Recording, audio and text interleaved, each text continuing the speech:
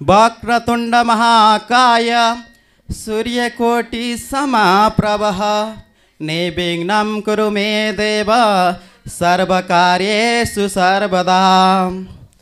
हरि ॐ मा आनो भद्राः कर्तवो जन्तु विश्वातो दब्दासो अपरितास उद्भिदः।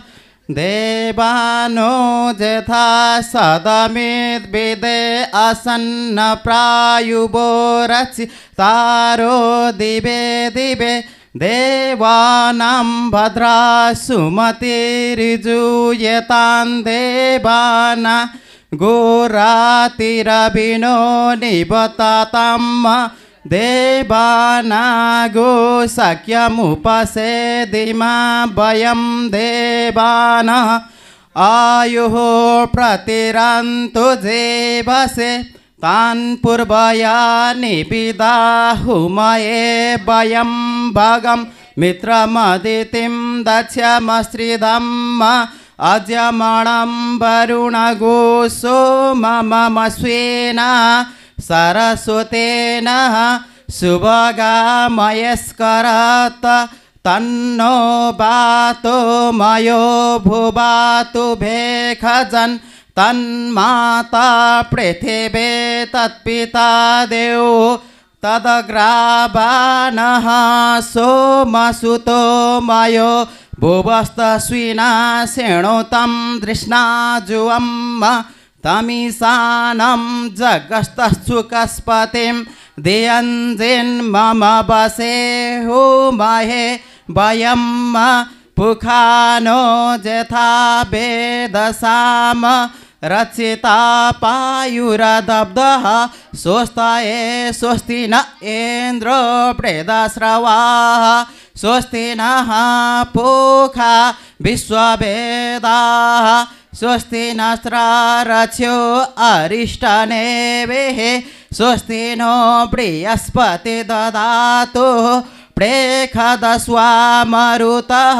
प्रश्निमातरः शुभं ज्याबानो वेदथे कुजग्मयः।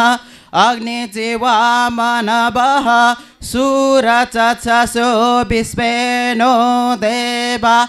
अवसागमन्य भद्रं कर्णेभिः शृणुयामदेवा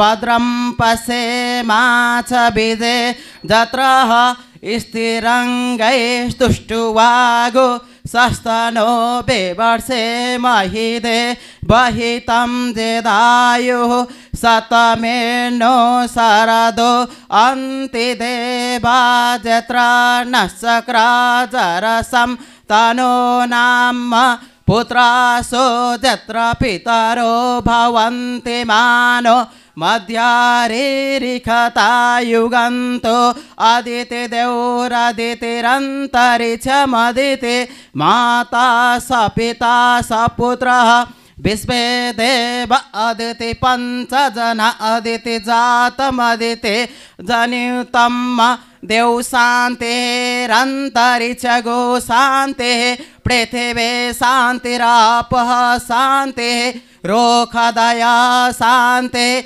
वनस्पतया शान्ति विश्वे देवा शान्तिः, ब्रह्म शान्तिः, सर्वगो शान्तिः, शान्तिरेव शान्ते, सामा शान्तिरेदे हरि ओं जतो यतः समीहसे, ततनो अभयं कुरु, सन्न कुरु, पर्दाभ्युभयन्न। पशुभ्य गणा गणपति गणपतिगुह्वामय प्रियाना प्रियपति प्रियपतिगुह्वामय निधिना निधिपति निधिपतिगुह्वामय हवामहे विस्मय देव आदित्य ओम कृष्णम नारायण वंदे कृष्णम वंदे वज्रप्रियम कृष्णम दैपायन वंदे कृष्णम वंदे प्रथासुतम सुमुख चैक कपिलो गज कनक लंबोदर विकट विघ्न नाश गणाधिप ध्रुम केतु गणादेश बाल चंद्र गजानन द्वादश तानि नमानि पठे छिन्यादवे विद्यारंभे विवाहे च प्रवेशे निगम तथा संग्रामे संकट चैव विघ्न स्थिति न जायते शुक्लाम्बरं धरम देवं शशिवणं चतुर्भुजं पर्शनं वदनं ध्याये सर्वविघ्नो पर्शन्तया सर्वे मङ्गलमङ्गले शिवे सर्वाद साधिके शरणे त्रयम्बके गौरी नारायणी नमस्तुते मङ्गलम भगवान् विष्णु मङ्गलम गरुध्वज मङ्गलम पुण्डरीकाक्ष मङ्गलाय तनोहरि ओम श्री गणगणाधिपते नमो नमः इष्टदेवताभ्य नमो नमः वास्तुदेवताभ्य नमो नमः पितृदेवताभ्य नमो नमः सर्वे देवी नमः समस्त देवी देवताभ्य नमो नमः विशेषतः गुरु भगवती काली नमो नमः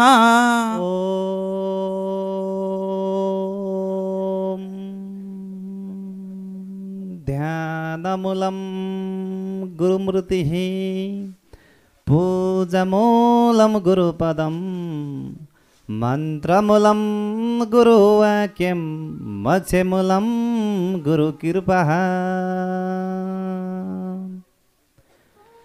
यस कुलभित्र अगति परेका बिचैमा मरेका जे जति छन् अकलमा परमुक्ति भएका सबैको उद्धारको निमित्त गुरु भगवतीलाई कालीलाई साँची राखी।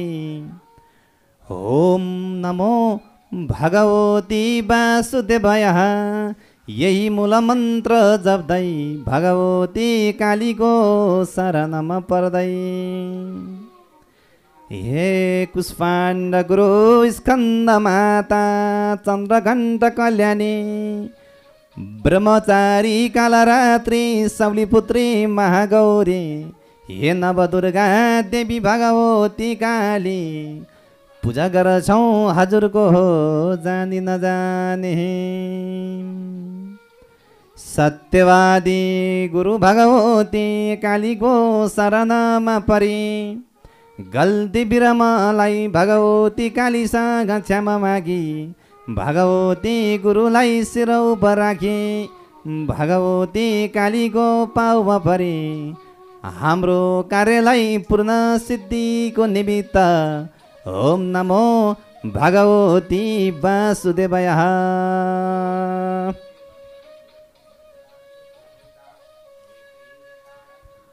परम श्रद्धालु भक्त सदनबिन यतातत्र सर्वत्रबाट पाल्नुभएको छ।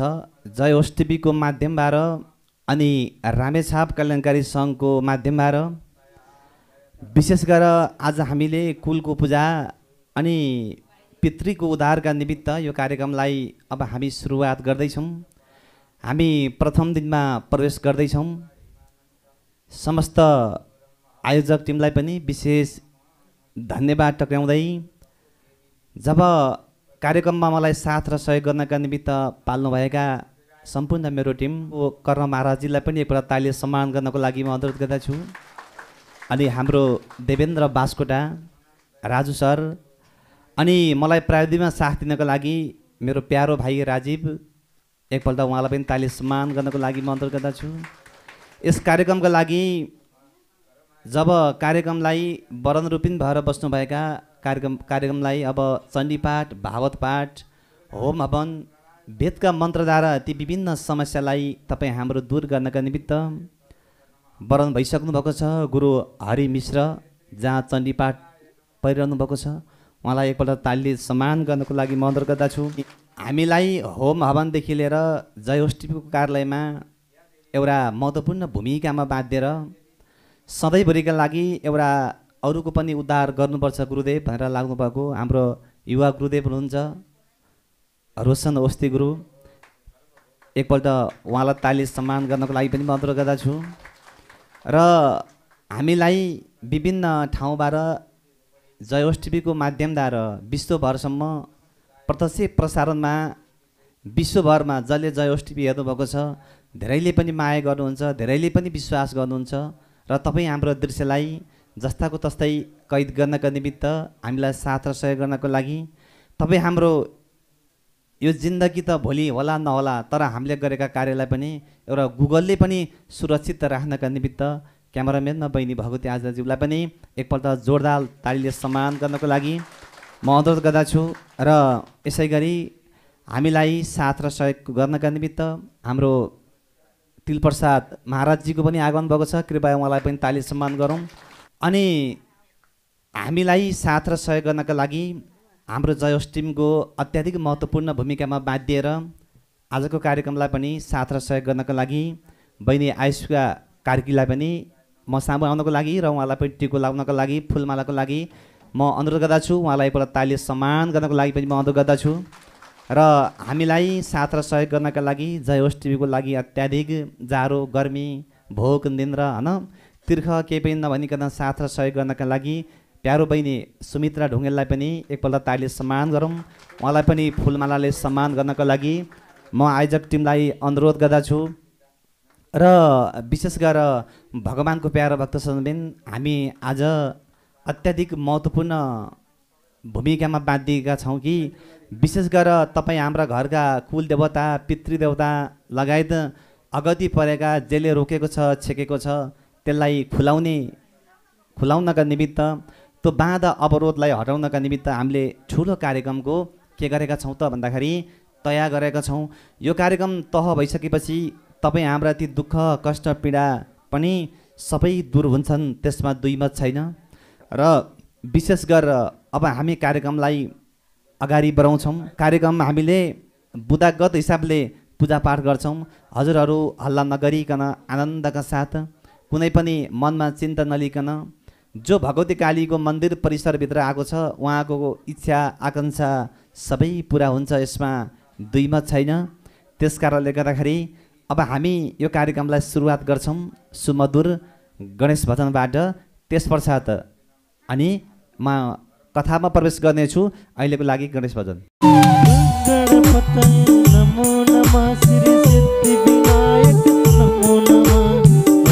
विनायक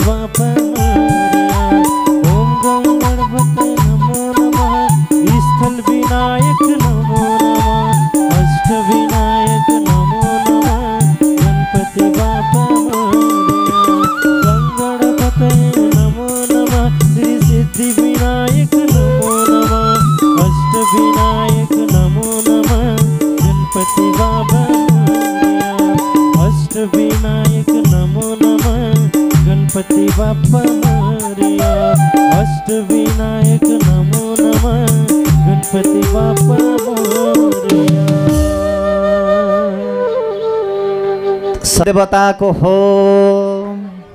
गुरुमुखी भगवती काली माताको हो। समस्त भक्तजनका कुलदेवताको हो। समस्त भक्तजनका पितृदेवताको हो। आजको आनन्दको हो। आयोजक परिवारको हो। राष्ट्रदेव पशुपतिनाथको हो। ओमकार परिवारको हो। वैदिक सत्य सनातन धर्मको हो। गुरुमुखी भगवती काली माताको हो। गुरुमुखी बलभद्र थानीको हो। गुरुमुखी जमान सिंह थानीको हो। गुरुमुखी सैनध्वज थानीको हो। समस्त जय भन्ने भक्तजनको हो। समस्त जय नभन्ने सबै भक्तजनको हो।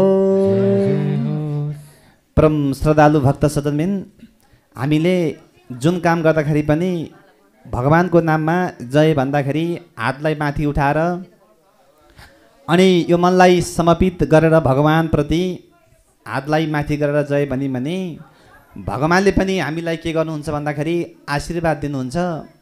जब जब जब कार्यमा सफलता प्राप्त हुन्छ गरेको कार्यमा पनि के हुन्छ त भन्दाखेरि उन्नति र प्रगति हुन्छ। त्यस कारणले गर्दाखेरि हामीले भगवान्को नाममा जय भन्दाखेरि कति पनि कन्जुस नगरिकन अनि हातलाई सिधै माथि गरेर आफ्ना कुल देवतालाई सम्झेर अनि आफ्ना इष्ट देवतालाई सम्झेर भगवान्को नाममा जय भन्यो भने कुनै पनि काममा बिचमा अवरोध समस्या हुँदैन। किनकि कुल देवताले पनि के भन्छन् भन्दाखेरि मेरो वंशले जहिले पनि मलाई जय होस् जय होस् भन्छ।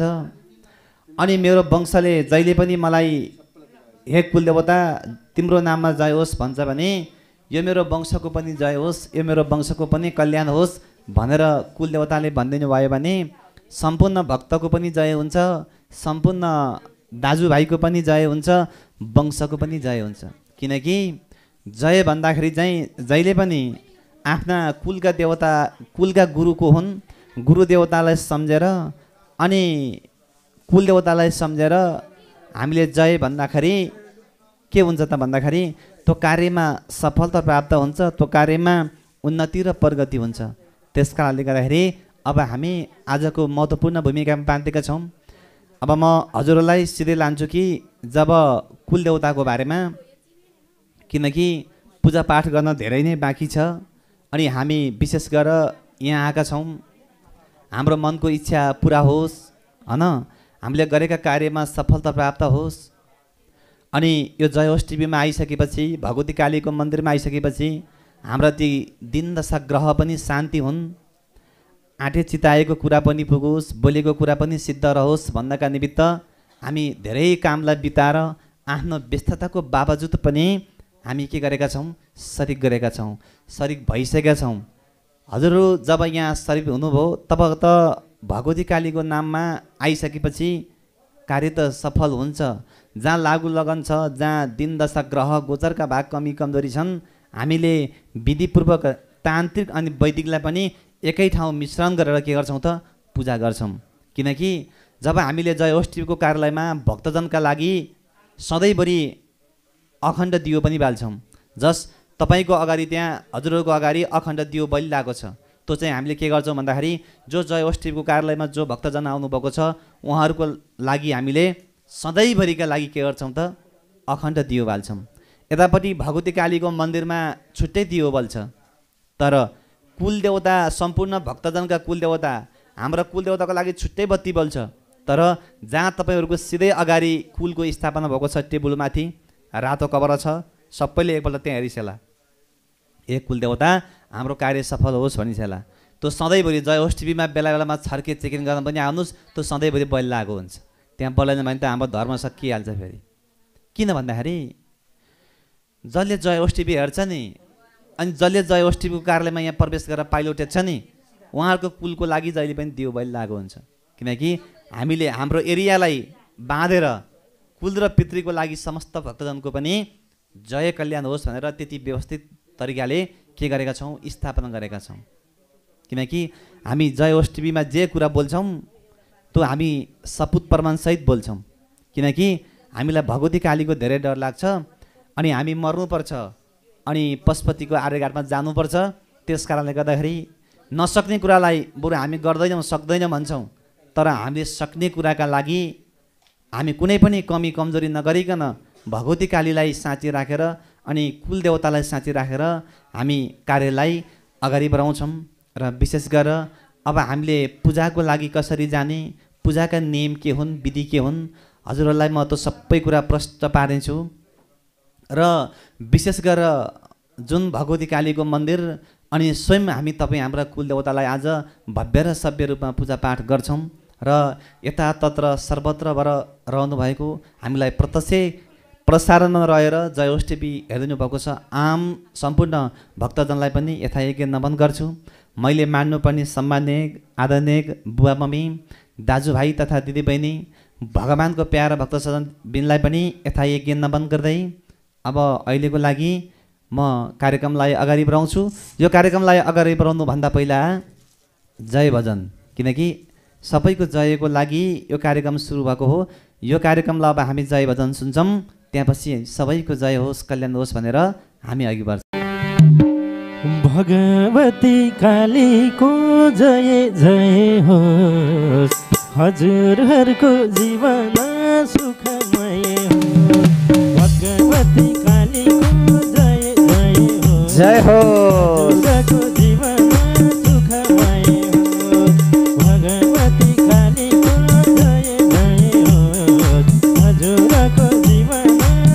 सुखमय होस्।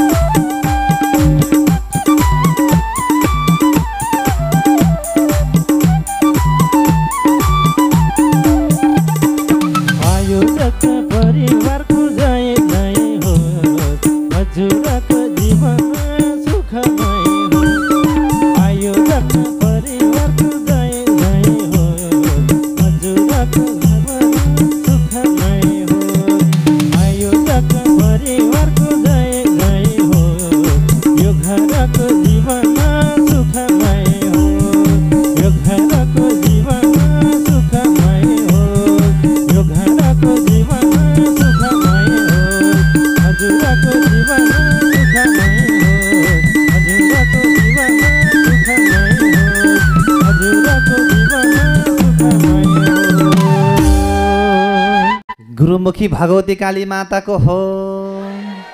समस्त भक्तजनको हो। आयोजक परिवारको हो।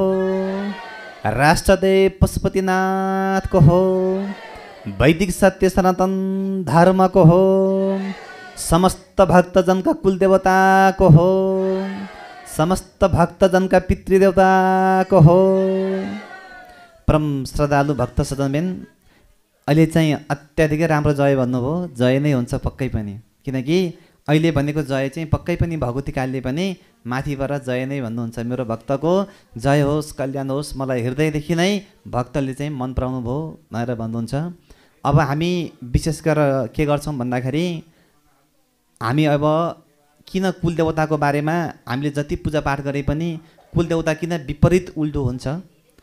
र बिचमा आएका कम्पहरू किन दबिँदै जान्छन्? त्यसमा हामी कुराकानी गर्छौँ। अब म हजुरलाई एकदमै घरमा शान्ति हुनका लागि तपाईँको कुल खुसी हुनका लागि होइन पितृ खुसी हुनका लागि म विशेष महत्त्वपूर्ण कुरा भन्छु। हजुरहरू नातिकन किनकि ढुक्काका साथ विधिपूर्वकले म पूजा गराउँछु। मङ्गल ग्रहको पनि पूजा गराइदिन्छु पितृदोषको पनि पूजा गराउँछु रोकिएका कुलका पनि पूजा गराउँछु नवग्रहको पनि पूजा गराउँछु भगवती कालीको पनि पूजा गराउँछु पितृदेवताको पनि गङ्गा आरती गराउँछु। मैले भनिरहेको छु जब यहाँको पूजा हामीले कसरी गर्छौँ त्यो हेर्न चाहिँ अलिकति र यहाँको पूजा कस्तो हुन्छ त्यो बुझ्न चाहिँ अलिक महत्त्वपूर्ण कुरा छ। त्यस कारणले गर्दाखेरि हामी केहीको पनि कमी हुन दिँदैनौँ। त्योभन्दा पछाडि हामीले कति बेला भक्तलाई भोक लाग्छ कति बेला भक्तलाई तिर्खा लाग्छ कति बेला चिया खान मन लाग्छ त्यो सबै मलाई थाहा हुन्छ कि भगवती कालीले मलाई भन्नुहुन्छ अब खाना देऊ भनेर अनि म दिन्छु। हजुरहरू नातिकन अब म सिधै प्रवेश गर्छु। केमा भन्दाखेरि कुलको पूजा पनि गरेका छौँ वायुको पनि पूजा गरेका छौँ पितृदेवताको पनि पूजा गरेका छौँ घरमा शान्ति हुँदैन।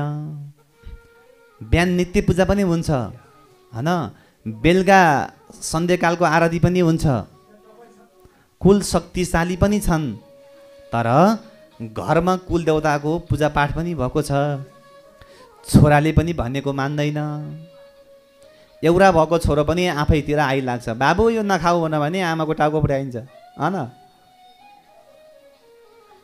ती तिन वर्षमा कुलको पनि पूजा हुन्छ। एक एक वर्षमा कुलको पनि पूजा हुन्छ। त्यति मात्रै होइन दिनरात घरमा शङ्ख घन्टा पनि बज्छन्। तर त्यो घरमा शान्ति नै हुँदैन कि पूजा गरेको त त्यसको ठ्याक्कै उल्टो भइदिन्छ। अनि बाबु आज यो काम नगर भनौँ भने त्यो जुन मान्छे भन्दी हुन्छ त्यो मान्छे त के हुन्छ? मूर्ख बनाइन्छ नि त्यो घरमा। र जब पूजापाठ गर्न जाउँ भनौँ भने अह त्यहाँ दायाँ बायाँ कतै रमाइलो कार्यक्रममा जानका लागि तयार हुन्छन्। पूजापाठमा जानको लागि त्यो घरको मान्छे मान्दैन किनकि अहिले यो हाम्रो कार्यालयमा तपाईँहरू आउनुभएको छ। तपाईँहरूको कुलको धर्मले अनि हाम्रो पनि कुलको धर्मले पूर्व जन्ममा राम्रो काम गरेर भाग्य उदय बहु जन्म समर्पित भनेको छ। एक एक जन्मको जुनीले होइन। हजारौँ जुनीको धर्मले गर्दाखेरि आज तपाईँ हाम्रो भेट भएको छ। किनकि जब कथा सत्सङ्ग बगिरहेका हुन्छन् अमृतमय सत्सङ्ग बगेको हुन्छ जहाँ भगवान्को भावत बगिरहेको हुन्छ त्यस्तो ठाउँमा जानको लागि भगवान्ले पनि आशीर्वाद दिनुपर्छ। त्यस्तो ठाउँमा संजोग भेट हुनका लागि तपाईँ हाम्रो कुलले पनि के गर्नुपर्छ? आशीर्वाद दिनुपर्छ। नत्र त्यो सोचेर पनि हुँदैन। कति हामी यहाँ आउनका लागि कतिको चाहिँ समस्या पऱ्यो घरमा कतिको के भयो कतिको के भयो होइन? एउटा न एउटा कुराले त्यहाँ के गर्छ त? रोक्छ। एउटा न एउटा कुराले के गर्छ त त्यहाँ? छेक्छ। यसको अर्थ यो हो कि हामीले कुन जुनीमा गरेको काममा अझै पनि त्यो पाप सकिएको छैन। अझै पनि हामीले गरेका काम कट्टी भएका छैनन् ग्रह सकिएका छैनन्। हामीले गरेका ती नेगेटिभ भाइब्रेसनहरू पनि पार तरेका छैनन्। त्यस कारणले गर्दाखेरि अब हामी पूजा गर्छौँ कुलको। शान्ति छैन। अनि घरमा बायो देवताको पनि पूजा गर्छौँ त पनि शान्ति छैन। अनि जब चाहिँ हामीले घरमा जुनसुकै काम गरेका छौँ तर व्यापारमा पनि बाधा अवरोध ल्याउँछ कार्यमा पनि सिद्धि हुँदैन उन्नति प्रगति पनि हुँदैन किनकि सबै मूर्खताको मूर्खताको बाटोमा मात्रै हिँड्छन्। अनि राम्रो कामको लागि त ठ्याक्कै विपरीत भइदिन्छ। त्यो काम सक्षम हुँदैन। त्यहाँ पक्कै पनि बुझ्नुहोस् कि कुलदेवता र पितृदेवताको चित्त बुझेको हन्ड्रेड पर्सेन्ट छैन। किन भन्दाखेरि शुभ कार्यमा पनि बाधा अवरोध भइदिन्छ शुभ बिहेमा पनि बाधा अवरोध भइदिन्छ। त्यहाँबाट गएर चाहिँ शुभ बिहा हुँदैन भइसकेपछि पनि के हुन्छ? छ महिनामा घर कति छन् जग्गा कति छन्? जाउँ अब चाहिँ बाँडफाँड गरौँ लागौँ आफ्नो बाटो सम्पत्ति आदि गरौँ भन्ने कुरा आइहाल्छ तर अब के हो त त्यहाँ भन्दाखेरि कुलको पनि पूजा भएको छ। मैले पूजा गर्नेको लागि भनिरहेको छु। नगर्नेको लागि त त्यसै दुःख भइ नै हाल्यो तर गर्नेले पनि यहाँ पूजा गरेर पनि शान्ति पाएका छैनन् किनकि म जयोस टिभीमा कति कार्यक्रम प्रवचन गर्छु। जब मलाई जतिले भेट्नुहुन्छ कि जब कुलको पूजा गरेर पनि शान्ति नहुने पनि छन्। कुलको पूजा नगरिकन शान्ति नहुनु त स्वाभाविक कुरा हो। तर कुलको पूजापाठ गर्दा गर्दा पनि त्यो घरमा शान्ति छैन विडम्बनै छ। जब पूजा गरौँ कि के हुन्छ त्यसको उल्टो भइदिन्छ। अनि देवी देवताको पनि पूजा गर्दाखेरि पनि के हुन्छ घरमा? उल्टो हुन्छ। जसले सप्ताह लगाउँछ जसले पुराण लगाउँछ जसले छ महिनामा तिन महिनामा एक वर्षमा घरमा रुद्री पाठ चण्डी पाठ भावत पाठ लगाउँछ तब पनि त्यो घरमा के छैन? शान्ति छैन। वास्तवमा यो के हो त भन्दाखेरि भगवान्को प्यारो भक्त सजनमेन हामीले पूजा गर्नु त ठुलो कुरो होइन। सबभन्दा ठुलो कुरो भगवान्प्रतिको आस्था र विश्वासका लागि हामीले यो मनलाई समर्पित गरेर अघि बढ्यौँ भने कार्य सफल हुन्छ। तर सङ्घर्ष गरेर जोड्नका लागि धेरै समय लाग्छ। तर सकिन चाहिँ तपाईँको के हुन्छ? एकछिनमै सकिन्छ। धेरै बेर कमाएको इज्जत धेरै दुःख कष्ट गरेर कमाएको सम्पत्ति सकिनका लागि पाँच मिनट पनि लाग्दैन। तर त्यही सम्पत्तिलाई जोड्नको लागि त्यही इज्जत र मान कमाउनको लागि धेरै समय धेरै वर्ष हामीले के गर्नुपर्छ? मिहिनेत गर्नुपर्छ। त्यस कारणले गर्दाखेरि हामीले भगवान्को पूजा गर्दाखेरि कुलको पूजा गर्दाखेरि पितृको पूजा गर्दाखेरि पनि अब हामी शान्ति पाएनौँ भने यहाँ आइसकेपछि हामीले केही न केही कुरा सिकेर जानुपर्छ। यहाँ आएर पनि बसेर भगवान्को नाममा पनि पूजा गर। हजुरलाई मैले यहाँ किन बोलाएको भन्दाखेरि यहाँ भनेको विधिपूर्वकको पूजा हुन्छ। किनकि तपाईँले गर्दाखेरि र हामीले गराउँदाखेरि अलिकति फरक पर्छ। हामीले विधिपूर्वक गराउँछौँ। तपाईँकै हातबाट गराउँछौँ अनि तपाईँलाई नै साँच्ची राखेर गराउँछौँ। किन भन्दाखेरि मुखले भन्ने एउटा होइन कि हामी मुखले पनि भन्छौँ उतापट्टि के गर्छौँ? काम पनि गराउँछौँ। अब हजुरहरूले गर्दाखेरि अलिकति केही मिल्दैन। केही न केही तपाईँको फरक पर्छ। यो भनेको त हाम्रो लागि एउटा चारधाम हो। यहाँ बाह्रै महिना बाह्रै काल चौबिसै घन्टा पूजा नै पूजा भइरहेको हुन्छ। यहाँ बाह्रै महिना बाह्रै काल चण्डी परिरहेको हुन्छ यहाँ भावत गुन्जिरहेको हुन्छ यो ठाउँ भनेको। किनकि यहाँ कुनै बेलामा पनि शुक्र अस्त भएको बेला गुरु अस्त भएको बेला पनि हामीले यहाँ केही कामलाई रोक्दैनौँ। किन भन्दाखेरि हाम्रो सनातन चलिरहेको छ। किन भन्दाखेरि हामीले जुनसुकै बेलामा पनि जस्तै समस्या परेको बेलामा पनि हाम्रो कार्यक्रमलाई के गर्छौँ त भन्दाखेरि निरन्तरको साथ चलाउँछौँ नित्यबत्ती गुरुदेवको नाममा बाल्छौँ। अब भगवान्को प्यारो भक्त सदनबिन जब दुःख हुनुको कारण के हो भने हजुरहरूले जब जब पूजा गरिरहनुभएको छ तब तब घरमा राम्रो हुँदैन। एक नम्बर गल्ती के हो भन्दाखेरि ध्यान दिएर बुझिबक्सला आजैबाट घरमा त्यो कुरालाई लागू गरिबक्सला म त भन्छु कुलको नाममा तपाईँले चित्त बुझाउनु भयो भने हन्ड्रेड पर्सेन्ट अझ पाँच पर्सेन्ट थपेर भन्छु कि म त्यो घरमा सुख शान्ति हुन्छ। यदि तपाईँको घरमा त्यो कुलकै चित्त बुझेको छैन भने तपाईँ जतिसुकै धनधान्य हुनुहोस् तर त्यो घरमा सुख शान्ति समृद्धि कहिले पनि हुँदैन। किन भन्दाखेरि जब चाहिँ तपाईँको कुलको चित्त बुझ्दैन तब त तपाईँलाई पनि अडे अढी या साढे सातको दशाले छुन्छ। यसको अर्थ यो हो कि जब तपाईँको कार्यमा बाधा र अवरोध समस्या जहाँ हिँड्यो त्यहीँ ठेस लाग्न सुरु भइहाल्छ। अब यो हामीले कुल देवतालाई पूजा गर्दाखेरि किन त कुल देवता हामीसँग रिसाएका रहेछन् भन्दाखेरि नम्बर एकमा हामीले गरेको पूजा कुलले खाए कि खाएनन् यो पनि बुझ्न आवश्यक छ। हामी त के भन्छौँ शङ्ख घन्टा बजाउँछौँ होइन? अब फुल अक्षता धुप ला चढाइदिन्छौँ ल है कुल देवता भन्छौँ हामी हिँड्छौँ। तर हामीले पनि खाना खान्छौँ नि। अनि कुन दिन खाना अलिक मिठो भन्छ कुन दिन मिठो भन्छ कुन दिन नुन लाग्यो होइन? कुन दिन अमिलो पिरो के के हो त्यो मिलो मिलेन हामी पनि चेक गर्छौँ नि। तर कुल देवतालाई पूजापाठ गरिसकेपछि हामीले पूजा गर्नु त हाम्रो कर्तव्य हो भनेर गरेको हो कि? हृदयदेखि नै गरेको हो कि? बाबाले कर लाएर गरेको हो कि? अथवा गुरुदेवले कर लाएर पो गरेको हो कि? त्यहाँ के गर्छन् भन्दाखेरि कुलले पनि छ्यान विचार गर्छन्। कुल त एउटा शक्तिशाली देवता हुन् किनकि कुल त महान देवता हुन्। न त उसलाई कसैको डर छ न त कसैको भर छ। किनकि हाम्रो नुवा नगरकोटी कुलका वंशको मालिक उनै भए। हाम्रा बोहराका कुलका मालिक बोहरा वंशकै कुल भए होइन लगायत अब हाम्रो चौलागाई एकपल्ट हात उठाउनु त। मैले त भन्नै बिर्सेछु ओहो ल ताली समान गरौँ त उहाँहरूलाई। किनकि उहाँहरू पनि कुलको खोजीमा हुनुहुन्छ। अब उहाँहरूको कुलको लागि वंशको लागि उहाँहरूको कुल के हुन्छ राजा हुन्छ। भनिसकेपछि अब हामीले जब हामीले कुलको चाहिँ पूजापाठ गऱ्यौँ। अब कुलको पूजापाठ गर्दा पनि कुल खुसी भएनन्। नम्बर गल्ती एक के विचार गर्नु पऱ्यो भन्दाखेरि पूजा गर्दाखेरि पनि धेरै कुराको विचार गर्नु पऱ्यो धन सम्पत्ति दौलत होइन त्यहाँ। मात्रै पहिला त्यो मनलाई पवित्र मन शुद्ध बनाइसकेपछि कुललाई पूजापाठ गर्दाखेरि हामीले गल्ती गऱ्यौँ कि गरेनौँ? बरु छ महिनामा एकपल्ट गर्नुहोस्। वर्षमा एकपल्ट गर्नुहोस्। दिनकै पनि नगर्नुहोस्। पर्दैन। तर गर्नुहोस् कि? त्यसलाई विधिपूर्वक गर्नुहोस् अब सधैँभरि कुलको नाममा दैनिक बत्ती बाल्ने अखण्ड बत्ती बाल्ने मान्छे को हुनुहुन्छ? हात उठाउनु त ल।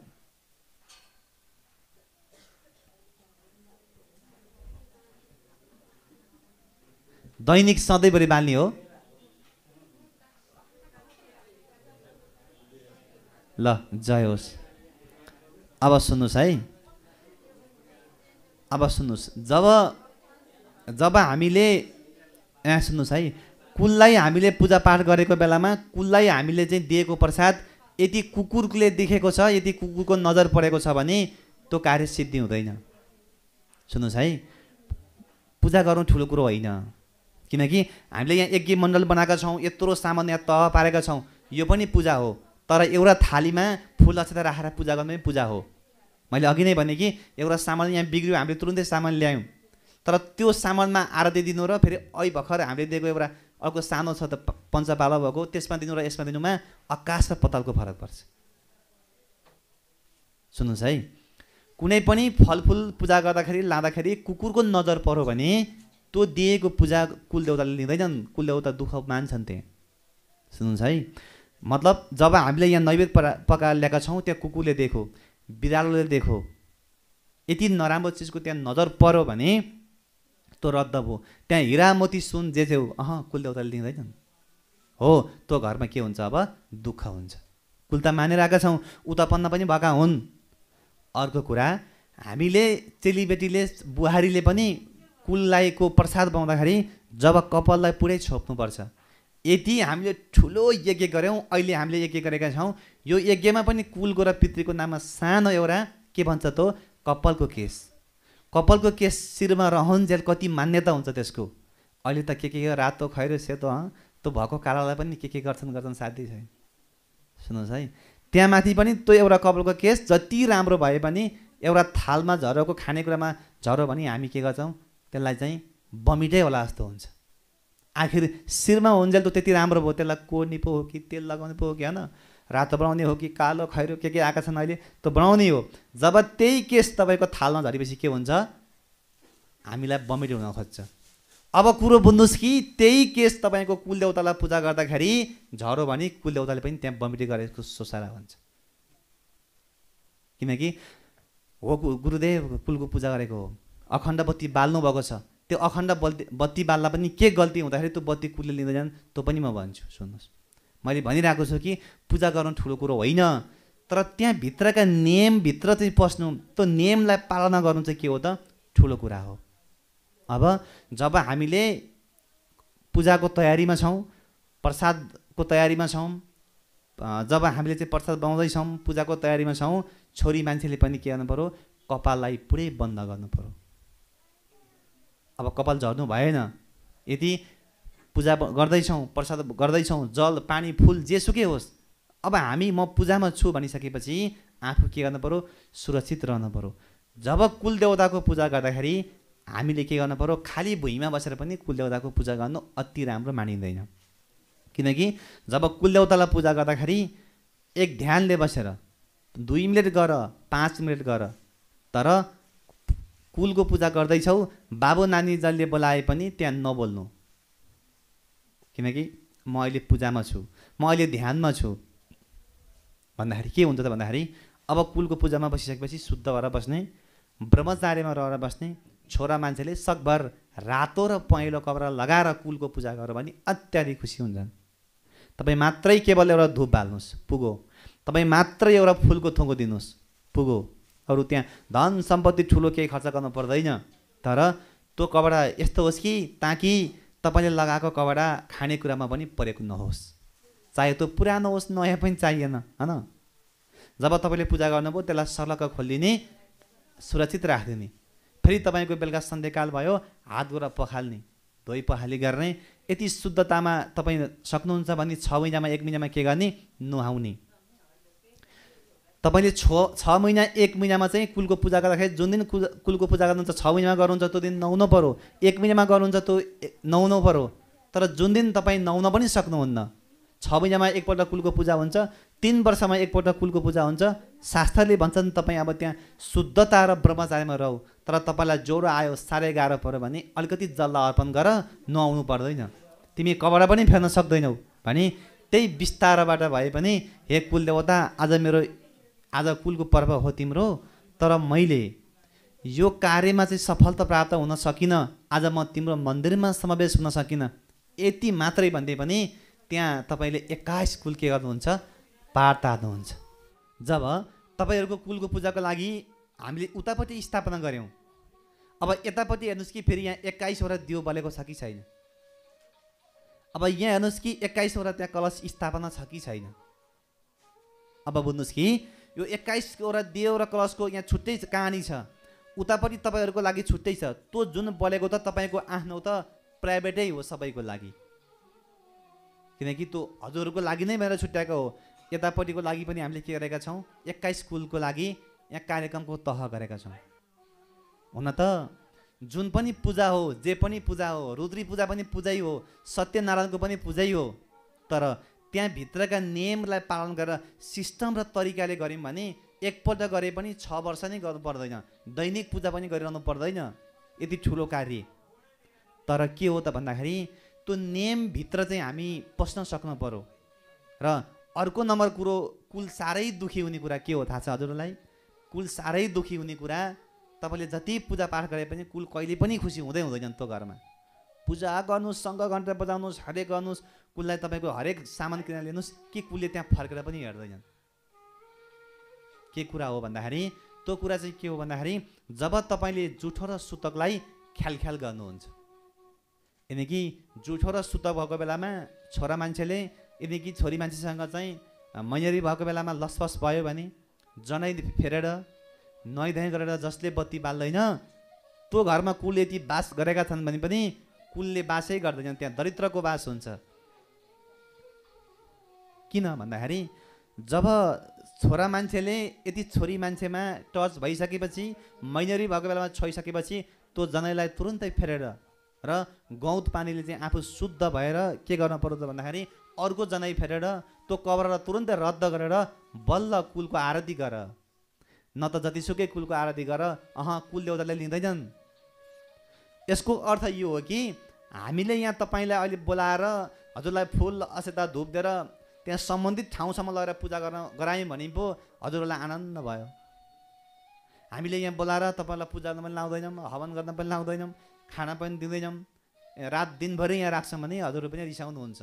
अर्थ यो हो कि कुल देवतालाई पनि हामीले चाहिँ शुद्ध राम्रो वचन अनि राम्रो भजन राम्रो चाहिँ तपाईँको प्रसाद राम्रो फलफुल यति कुल देवतालाई दिउँ भने के हुन्छ त?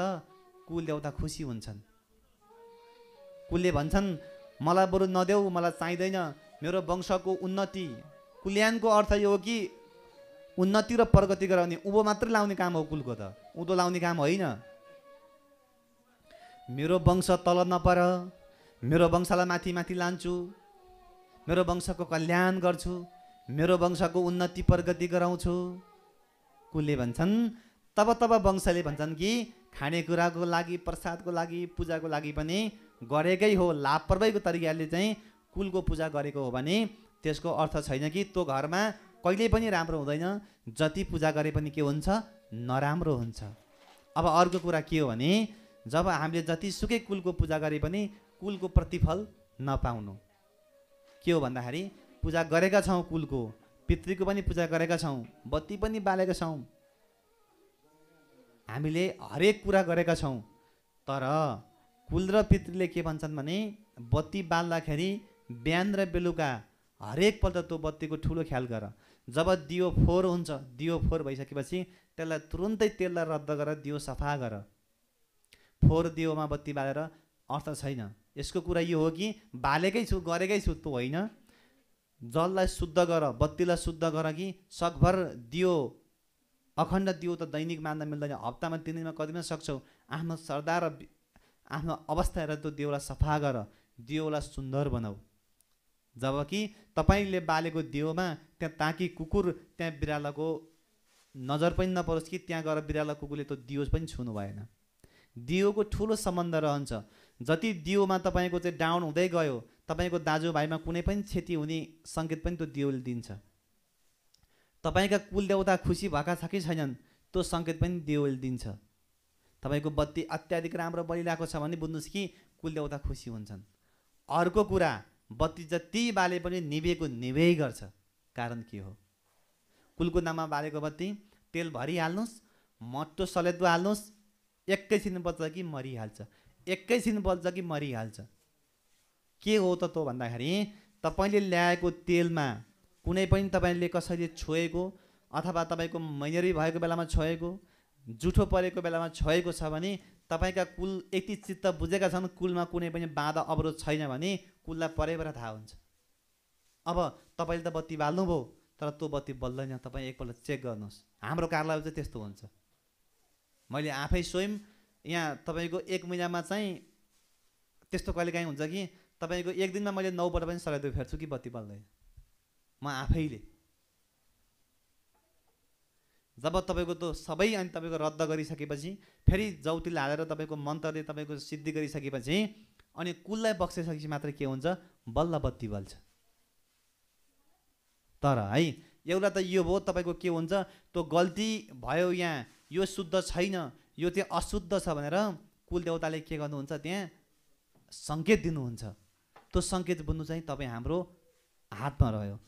अर्को कुरो फेरि तपाईँको बत्ती जति बाले पनि बत्ती निभिरहन्छ भने त्यहाँ के हुन्छ भन्दाखेरि सल्देको कारणले पनि हुन्छ फोहोरको कारणले पनि हुन्छ हावाको कारणले पनि हुन्छ अनेक कारण हुन्छन्। त्यसलाई त सामान्य भयो। त्यसको समस्याको हल हामी आफै गर्छौँ। तर सबै कुरो ठिकठाक छ सबै कुरो राम्रो छ सबै कुराको तह भएको छ भन्दा पनि बत्ती मर्छ भने आफूले आफ्नो कुललाई बक्साएर अनि जौतिल पानी गहुँत पानी छर्केर कुलको नाममा फेरि त्यो चाहिँ सलेदोलाई पुरै चेन गरेर अर्को सलेदोमा बत्ती बाल्नु भयो भने बत्ती राम्रोसँग बल्छ। जति बत्ती राम्रो बल्छ जति बत्तीमा चाहिँ तपाईँको शक्ति यानि कि बत्ती जति झल्ल बल्छ त्यति तपाईँका कुलदेउताले तपाईँका पितृदेउताले के गर्छन् त? आशीर्वाद दिन्छन्। कुलदेउता पनि के हुन्छन् त? खुसी हुन्छन्। कुलदेउता के हुन्छन् त? त्यो दुःख कष्टबाट पनि मेरो वंशले मेरो दाजुभाइले मलाई यति गरेको छ। मेरो वंश र मेरो दाजुभाइका निमित्त मैले जे पनि गर्नुपर्छ भनेर कुलदेउताले पनि ठुलो शक्ति दिन्छन्। तब त हाम्रो घरमा सुख शान्ति समृद्धि उन्नति प्रगति हुन्छ। भन्नुभयो कि है मैले अखण्ड दियो बालेको छु गुरुदेव भनेर। जसले कुलदेउताको नाममा अखण्ड दियो बाल्छ त्यो घरमा जहिले पनि शान्ति नै हुन्छ। दुई मत छैन त्यहाँ। अखण्डको अर्थ यो हो कि जुन पनि बेलामा सङ्कट परेको बेलामा अखण्ड दियो निप्नु भएन। आज तेल छैन। आज म बिहेमा जानु पऱ्यो अह त्यो हुँदैन। आज म पार्टीमा गएँ घर आउन पाइनँ। त्यो हुँदैन। हाम्रो कार्यालयमा बत्ती बल्छन्। हामी प्रायः जसो बाहिरै हुन्छौँ। तर यहाँ हामी बाहिरै भए पनि कतिपय त गुरुदेवहरू पनि हामीसँगै हुन्छन्। भन्नु होला कि अब यहाँ के गर्नु होला हामी ताल साँचो सबै जिम्मा दिएर गएका हुन्छौँ। किनकि जस्तो अवस्था चाहे विदेश जाउँ चाहे जहाँसुकै जाउँ अखण्ड दियो सुरुवात गर्नै हुँदैन गरिसकेपछि बिचमा छोड्नै हुँदैन। किनकि जस्तो अवस्थामा जुठो सुतक पर अब के गर्ने? घरभन्दा बाहेक पनि जुठो सुतकको बेलामा पनि अखण्ड दियोलाई मार्नका निमित्त बन्द गर्नका निमित्त अधिकार छैन। जुठो घरमा परेको छ आफ्नै घरमा पऱ्यो भने छुट्टै कुरा भएन। आफ्नो घरमा होइन त्योभन्दा पर दाजुभाइमा पनि पऱ्यो भने तर अखण्ड दियो रोक्न पर्दैन बाल्न मिल्छ। ताकि जुठो बालेकाले बाल्नु भएन। कन्याकुमार कन्याकेटी ब्रह्मजाति कसैलाई बोलाएर चाहिँ हजुरले बाल्नुहुन्छ भने त्योभन्दा ठुलो धर्महरू केही पनि हुँदैन। तर जसले पाए त्यसले अखण्ड दियो बाल्न पनि सक्दैन। किन भन्दाखेरि घर हुनु पऱ्यो जागिरमा पनि गइन्छ होइन? कतिपयको चाहिँ मनभित्रैदेखि बाल्न मन भएर पनि सकिँदैन। जागिरमा जान पऱ्यो एउटा कोठा होला एउटा फ्लाइट होला हरेक समस्या हुन्छन्। तर तपाईँलाई यति बाल्न मन छ भने यति बाल्नै मन छ भने हजुरले भित्रैदेखि सम्झेर बाल्नुभयो भने बाले जत्तिकै हुन्छ कि सम्झिनु भयो भने। त्यो पनि सकिएन भने हाम्रो कार्यालयकोमा आएको बेला धेरै होइन एक रुपियाँ पाँच रुपियाँ पैसा त्यहाँ राखेर जानुहोस् तपाईँको अखण्ड दियोस् सधैँ बल्छ। धेरै पनि होइन। एक रुपियाँ पाँच रुपियाँ। त्यो पनि नभएदेखि एउटा फुलको थुङ्गो राख्नुहोस् के हुन्छ त भन्दाखेरि तपाईँका कुलदेवता खुसी हुन्छन्। किन भन्दाखेरि तपाईँको त विश्वास हो तपाईँको त श्रद्धा हो। किन भन्दाखेरि जब कुलदेवताले त्यहाँ तपाईँलाई आशीर्वाद दिइसके किनकि तपाईँले त भित्रैदेखि सोध्नुभयो भित्रैदेखि हृदयदेखि नै कल्पना गर्नुभयो होइन? किनकि विश्वास गर्नुभयो त्यही खोजेको थियो कुलले के विश्वास? मेरो भक्तलाई कुन दिन मैले यति गर्न सकौँला? भनेर यदि आफूले बाल्न सकिएन भने यो मन्दिरमा आएको बेलामा एउटा फुलको थुङ्गो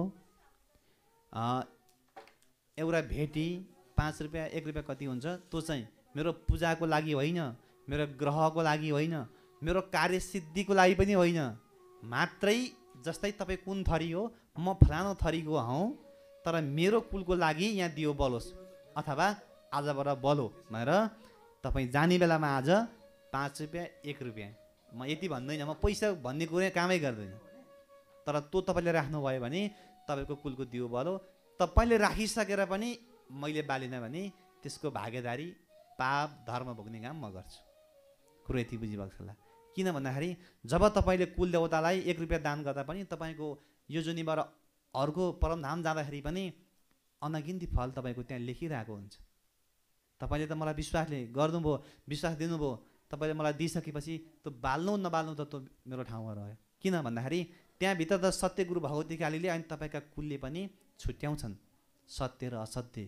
त्यस कारणले गर्दाखेरि हजुर त कुनै पनि जन्मदिनको बेलामा कुनै पनि शुभ कार्यको बेलामा म त भन्छु अनेक पैसाको खर्च नगर्नुहोस् एक पाकेट तेल किनेर कुनै पनि मन्दिरमा लगाइदिनुहोस् अनि तपाईँ त्यो काम सुरु गर्नुहोस् छ महिना वर्ष दिनपछि हेर्नुहोस् अनि तपाईँको परिवारमा राम्रो हुन्छ कि हुँदैन? तपाईँका बाबु नानीमा सत् मार्ग आउँछ कि आउँदैन? पहिला हजुरहरूले त के गर्नु पऱ्यो सिकाउनु पऱ्यो ती बच्चालाई। ती बाबु नानीलाई सिकाउनु पऱ्यो कसैको करकापले होइन आफूले गरेको देखेर अनि अरूले जान्नु पऱ्यो किनकि हामीले अहिले यो कार्यालयमा तह बनायौँ अनि पो हजुरहरू आउनुभयो। हामीले नै कार्यक्रमको तह नबनाएर निमन्त्रणा नगरेपछि त कसरी थाहा हुन्छ त। भन्नुको अर्थ यो हो कि मैले भन्न खोजेको आफूले सुरुवात गर्नु पऱ्यो अह मैले जति गरे पनि भएन त्यो होइन। मैले पूजा गर्दैछु सफ सफल हुँदैन त्यो होइन। मैले जति गर्दाखेरि पनि हुँदैन त्यो होइन। तर तपाईँले सुरुवात गर्नुभयो भने कुनै पनि बेलामा हामी हरेक कुराकोमा पैसा खर्च गर्छौँ। कुनै पनि आफ्नो जन्मदिन शुभ कार्य हरेक काम सफल भएको बेलामा खुसीको खबर आएको बेलामा कुनै पनि मन्दिरमा यहाँ मात्रै होइन। कुनै पनि भद्रकाली भयो दक्षिण कालीका मन्दिर भए त्यहाँ तपाईँले दिएको फलफुल अथवा तपाईँले दिएको प्रसाद फुलका मालाहरू कुहिएर जान सक्लान्। तर केवल बत्ती बाल्नका लागि तेल दिनुहोस् म त यो भन्छु। यानि कि पशुपतिमा दर्शन गर्न जानुहुन्छ होइन? त्यहाँ जाने एक पाकेट तेल दिने यो बानी आजै बसाल्नुहोस्। अथवा आधी लिटर दिने गुरुदेवलाई भन्ने त्यहाँको गुरुलाई भन्ने गुरुदेव आज मैले चाहिँ खुसीको लागि यो तेल चाहिँ बलोस् है यहाँ पशुपतिनाथको नाममा। बाँकी त गुरुको हातको कुरा बालौँ त नबालौँ। हजुरले त दिइहाल्नुभयो तपाईँको विश्वास त दिइहाल्नुभयो। अब भद्रकाली जानुभएको छ। बरु अलिकति खाजालाई कन्ट्रोल गरिदिने बरु एक दिन खाजा अलिक कम खाने तर एक पाकेट अथवा आधी लिटर तेल दिने ल गुरुदेव यो भद्रकाली मन्दिरमा भरे साँझमा भोलि बिहान मेरो नाममा दियो बलोस्। बरु त्यो गुरुलाई पनि पचास रुपियाँ पैसा दिनु। चिया खानु तपाईँ तर बत्ती बाल्दैन भन्नु। मलाई होइन नि फेरि। मैले अरू मन्दिरमा भनेको म त बाल्छु अरू गुरुको त थाहा छैन मलाई। पचास रुपियाँ तपाईँलाई छुट्टै तर मेरो मन्दिरमा चाहिँ बत्ती बलोस् तेल बलोस्। गुरु हजुरको त मलाई एकदमै विश्वास छ भनिदिनुहोस्। त्यहाँ सुनिन् कि भद्रकालीले तपाईँले बारिसक्नुभयो किनकि कि गुरुकै हातमा रहन्छ पुजारीकै हातमा रहन्छ मन्दिर त फेरि गरिन् नगर्ने। अब अन्य तपाईँ कहाँ कहाँ जानुहुन्छ पाथीबाट जानुहुन्छ तपाईँ हलेसी जानुहुन्छ त्यहाँ जाँदा पनि दुई लिटर एक लिटर तेल छोडेरै आउनुहोस्। म त भन्छु। त्योभन्दा ठुलो धर्म अरू केही हुँदैन। जहाँ तपाईँको तेलबाट चाहिँ बत्ती बल्छ कि त्यहाँ एक्काइस कुल पार्थर छन्।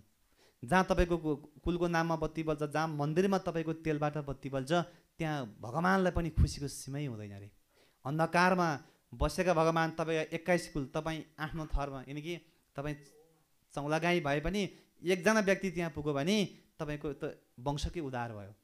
कुलले त्यहाँ उसको व्यक्तिगत तेरो मात्रै रक्षा गर्छु म भन्दैन म सबै वंशको रक्षा गर्छु।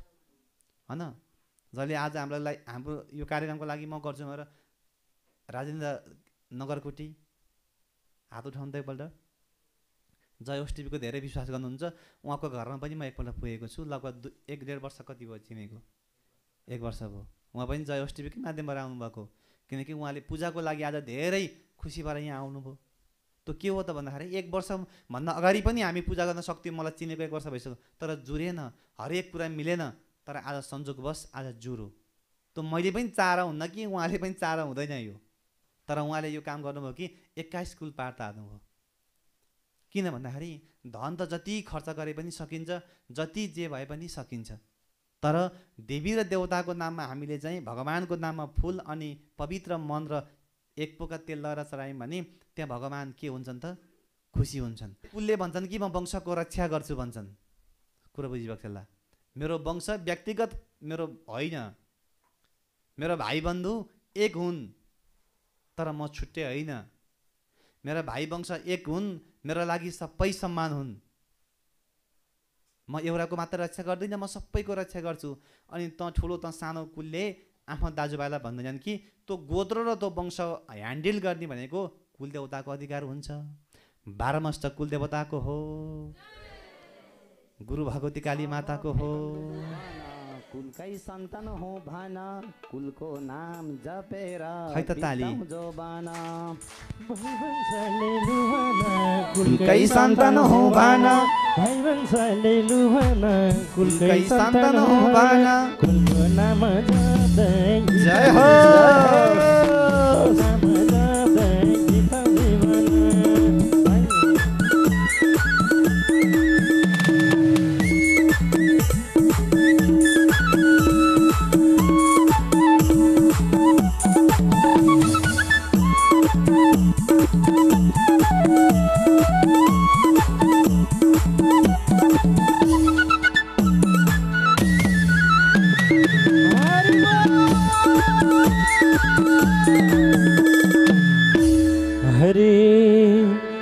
पूजा गरौँ सबैले बुझेर। पूजा गरौँ सबैले बुझेर। मुक्ति मिल्छ कुललाई पुजेर। भाइ वंशले लुभन कुलकै सन्तान हुँ भन भाइ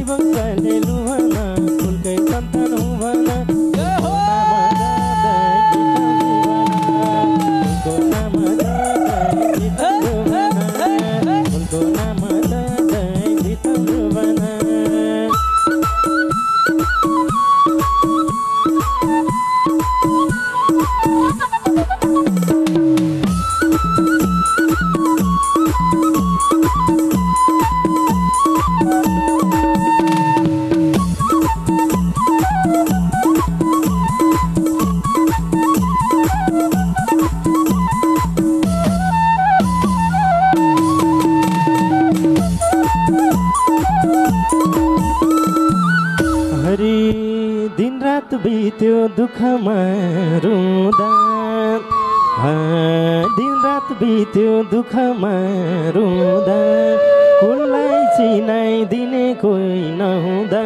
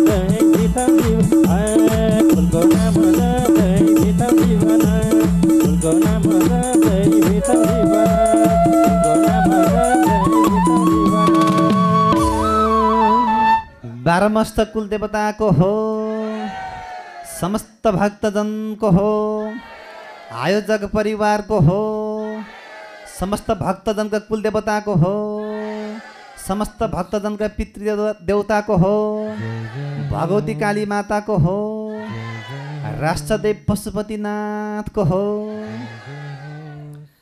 परम श्रद्धालु भक्त सजनबिन अब हामीले कुलको बारेमा र पितृलाई खुसी पार्छौँ भन्ने कुरामा छौँ। अब हामी कुलको पूजा पनि गर्छौँ आज पितृको पनि पूजा गर्छौँ। जयोष्ठीको कार्यालयमा आज कुल पितृको लागि फर्स्टचोटि आउने मान्छेले हात उठाउनु त पहिलोचोटि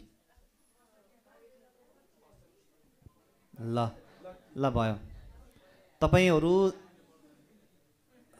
साह्रै नै भाग्यमानी। ल सुन्नुहोस् है। तपाईँहरू साह्रै नै भाग्यमानी। किन भन्नु त? किनभने नि हामीले आजभन्दा पहिला पूजापाठ गर्दाखेरि आरती गर्दाखेरि गङ्गा आरतीको लागि चौन्नवटा चाहिँ यो जुन गङ्गा आरतीबाट गर्थ्यौँ कि भाँडो सानो थियो आज हामीले एक सय आठै ल्यायौँ कि जस यो नियम कहाँ छ त भन्दाखेरि काठमाडौँको पशुपति मन्दिरमा छ। उहाँलाई सोध्नुहोस् कि पशुपतिको गुरुदेवहरूलाई गुरुदेव आज मेरो गङ्गा आरती गर्न पर्यो पितृको नाममा कुलको नाममा आज मेरो जन्मदिनको नाममा के कति खर्च लाग्छ भनेर त्यहाँ सोध्नुहोस्। गुरुदेवले भन्नुहुन्छ कि के कति खर्च लाग्छ सुन्नुहोस् है। तर तपाईँहरू आज पहिलोचोटि आउनुभयो अनि पहिलोचोटि नै तपाईँहरूको के भयो त भन्दाखेरि उद्घाटन भयो कि गङ्गा आरती पनि? यो कि जस्ट एक सय आठ। ती पितृदेवता पनि वैकुण्ठमा बास होस् ती हाम्रा कार्यमा पनि सफलता होस्। ल एकपल्ट सबैले हेरिदिनुहोस् यता तपाईँको नजर। सबैको चाहिँ सुन्नुहोस्। त्यति गरम छ। सुन्नुहोस् है यो के हो त भन्दाखेरि हजुरहरूले जब यहाँ पूजाको लागि सरेक रहनुभएको छ अब हामी के गर्छौँ त भन्दाखेरि पहिला कुलदेवताको लागि पूजा गर्छौँ। सुन्नुहोस् है अब म तपाईँहरूलाई एउटा कुरो के भन्छु भने कुलदेवताको पूजाको लागि फुल अक्षता धुपको तयारी पार्नको लागि म सुमित्रा बहिनीलाई आयुषका बहिनीलाई सबैलाई भक्तजन दिनको लागि अनुरोध गर्दा छु। पहिला हामी कुलको लागि अब भव्य पूजा गर्छौँ कुलदेवताको लागि। त्योभन्दा पछि हामी काममा विधिपूर्वक आउँछौँ। तर तपाईँहरूले आज के गर्नु भने तपाईँहरूले जति सक्नुहुन्छ जे गर्नुहुन्छ होइन? आफ्नो पितृको लागि अनि अखण्ड दियोको लागि आफूले सकेको पैसा आफूले सकेको कति सक्नुहुन्छ त्यो फुलमा राखेर तपाईँले दिनुहोस्। यति उति भन्ने कुरा भन्दा कि अरे जब मान्छेले बुझ्छ नि तब तब के हुन्छ भन्दाखेरि झन् भावुक हुँदै जान्छ। त्यस कारणले गर्दाखेरि उनीले पनि सामान्य उपचार गर्छन् यहाँ जय कार्यालयमा। तपाईँको लागि मैले भन्नुभन्दा पनि बहिनीलाई दोलखा निवासी बहिनीलाई आयुष्व कार्यक्रमलाई एकपल्ट सबैले ताली सम्मान गर्नको लागि अनि उनी यता टेलि टेलि शृङ्खलातिर पनि के केमा पनि खेल्छन् कलाकार पनि हुन्। अँ सिरियलमा। एकदम नाम चलेको बहिनी हुन् है। तर के हो भन्दाखेरि धेरै तपाईँको चाहिँ दुःख भइसकेपछि अन्तिममा आउने फेरि कहाँ हो? जय कार्यालयमा हो। तर समस्या के हो? के थियो? अहिले कस्तो छ? दुई शब्द भन्नको लागि म यो माइक्रोफोन। यस कार्यक्रमको सभापतिज्यू ड्यासमा आसिन आसिन वर्ण भएर बस्नुभएको श्रेदय गुरु हरि बोराज्यू आसिन वर्ण भएर बस्नुभएको सम्पूर्ण गुरुदेव लगायत सम्पूर्ण भक्तजनमा म आइसा कार्कीको तर्फबाट जय श्रीकाली रामेछाप कल्याणकारी सङ्घद्वारा आयोजन भएको आजको यस कार्यक्रममा आफ्नो केही भनाइहरू राख्न दिनुभएकोमा गुरु हरि बोराज्यूलाई धन्यवाद। शीर्षक रहेको छ कुलपितृ भनेको के हो? कुलपितृ नमान्दा के के समस्या आउँछ?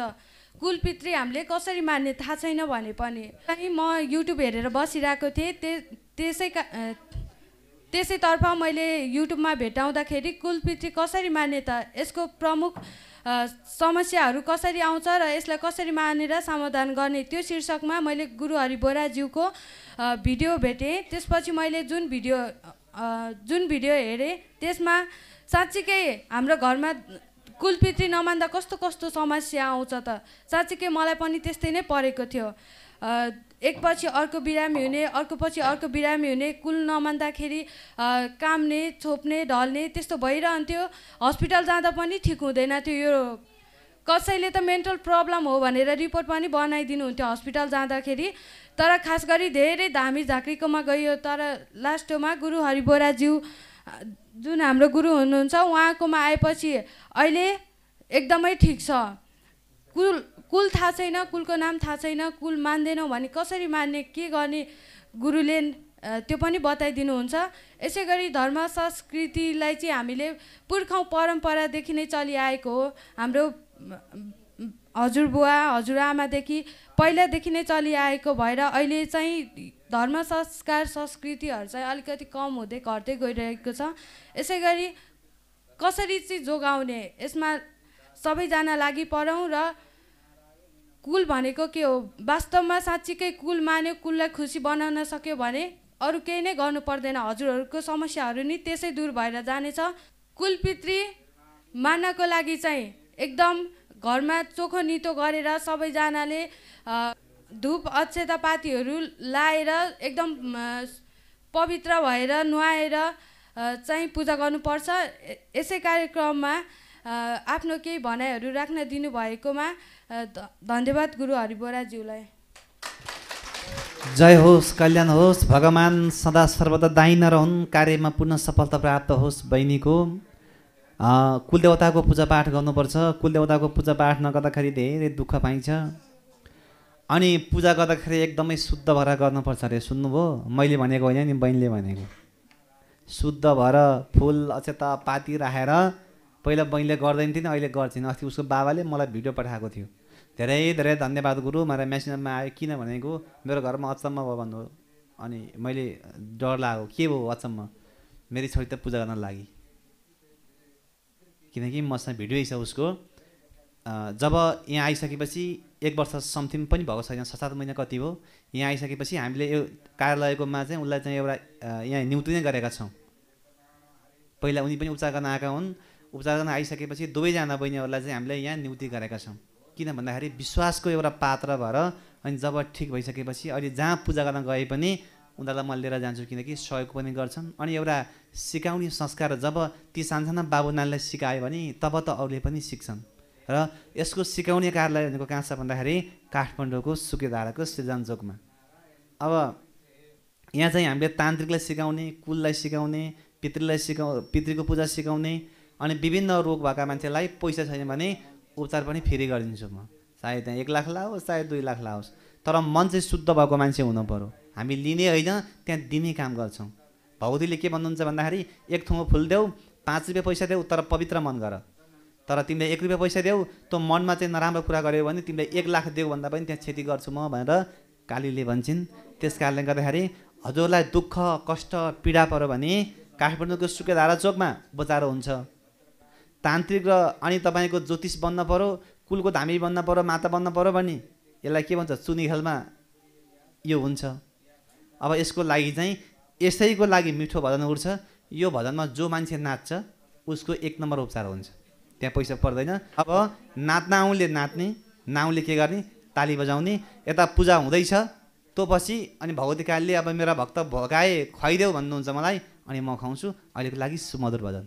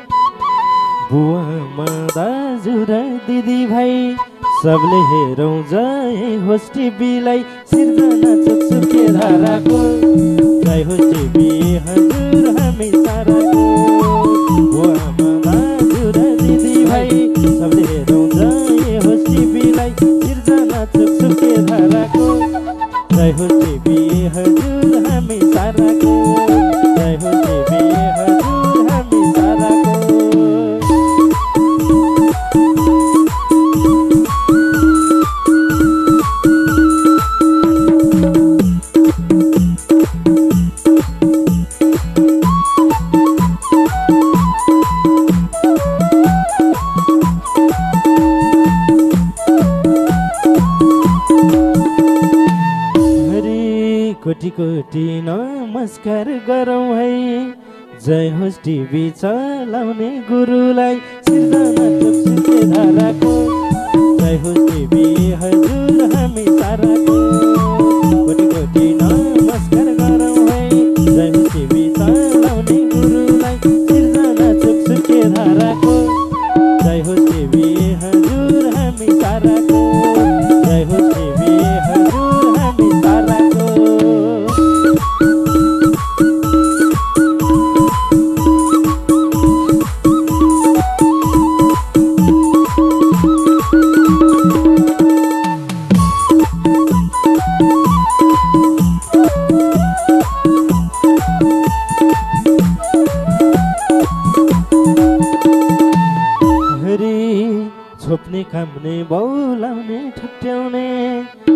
खाने नै बौलाउने ठट्याउने।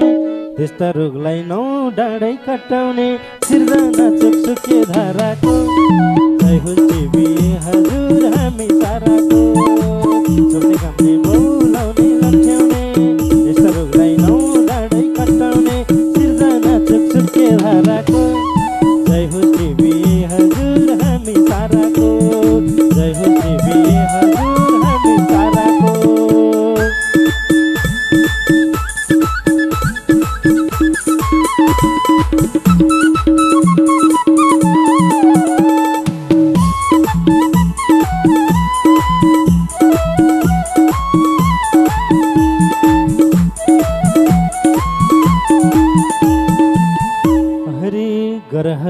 ग्यास्ट्रिक र बिगार यी रोगबाट छ छुटकारा।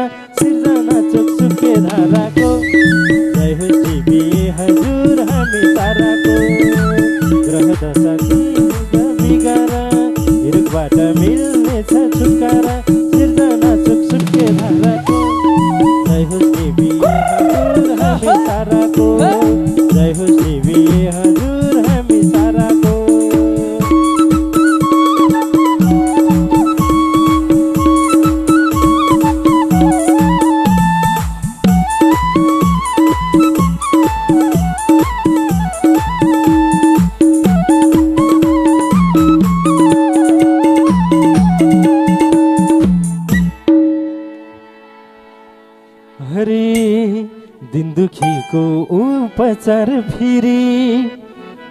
आँखीको उपचार फेरि। निको हुन्छ एक पैसा नतिरी। सिर्जना चोक सुकेरा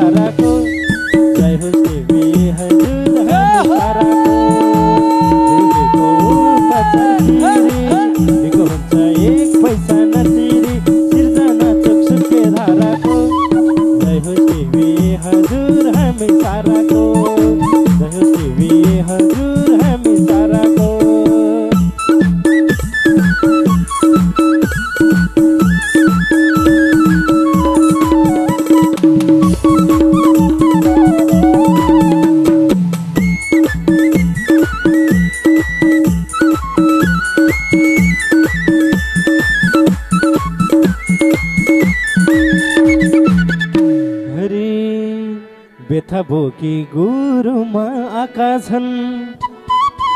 बेथा बोकी गुरुमाका छन्। चट्टै निको भएर गएका छन्। सिर्जना चोक रा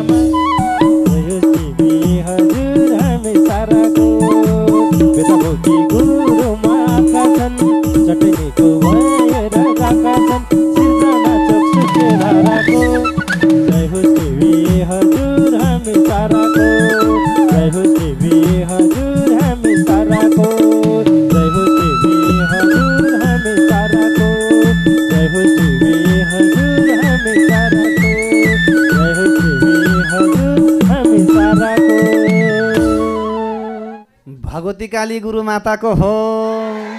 समस्त भक्तजनका कुलदेवताको हो।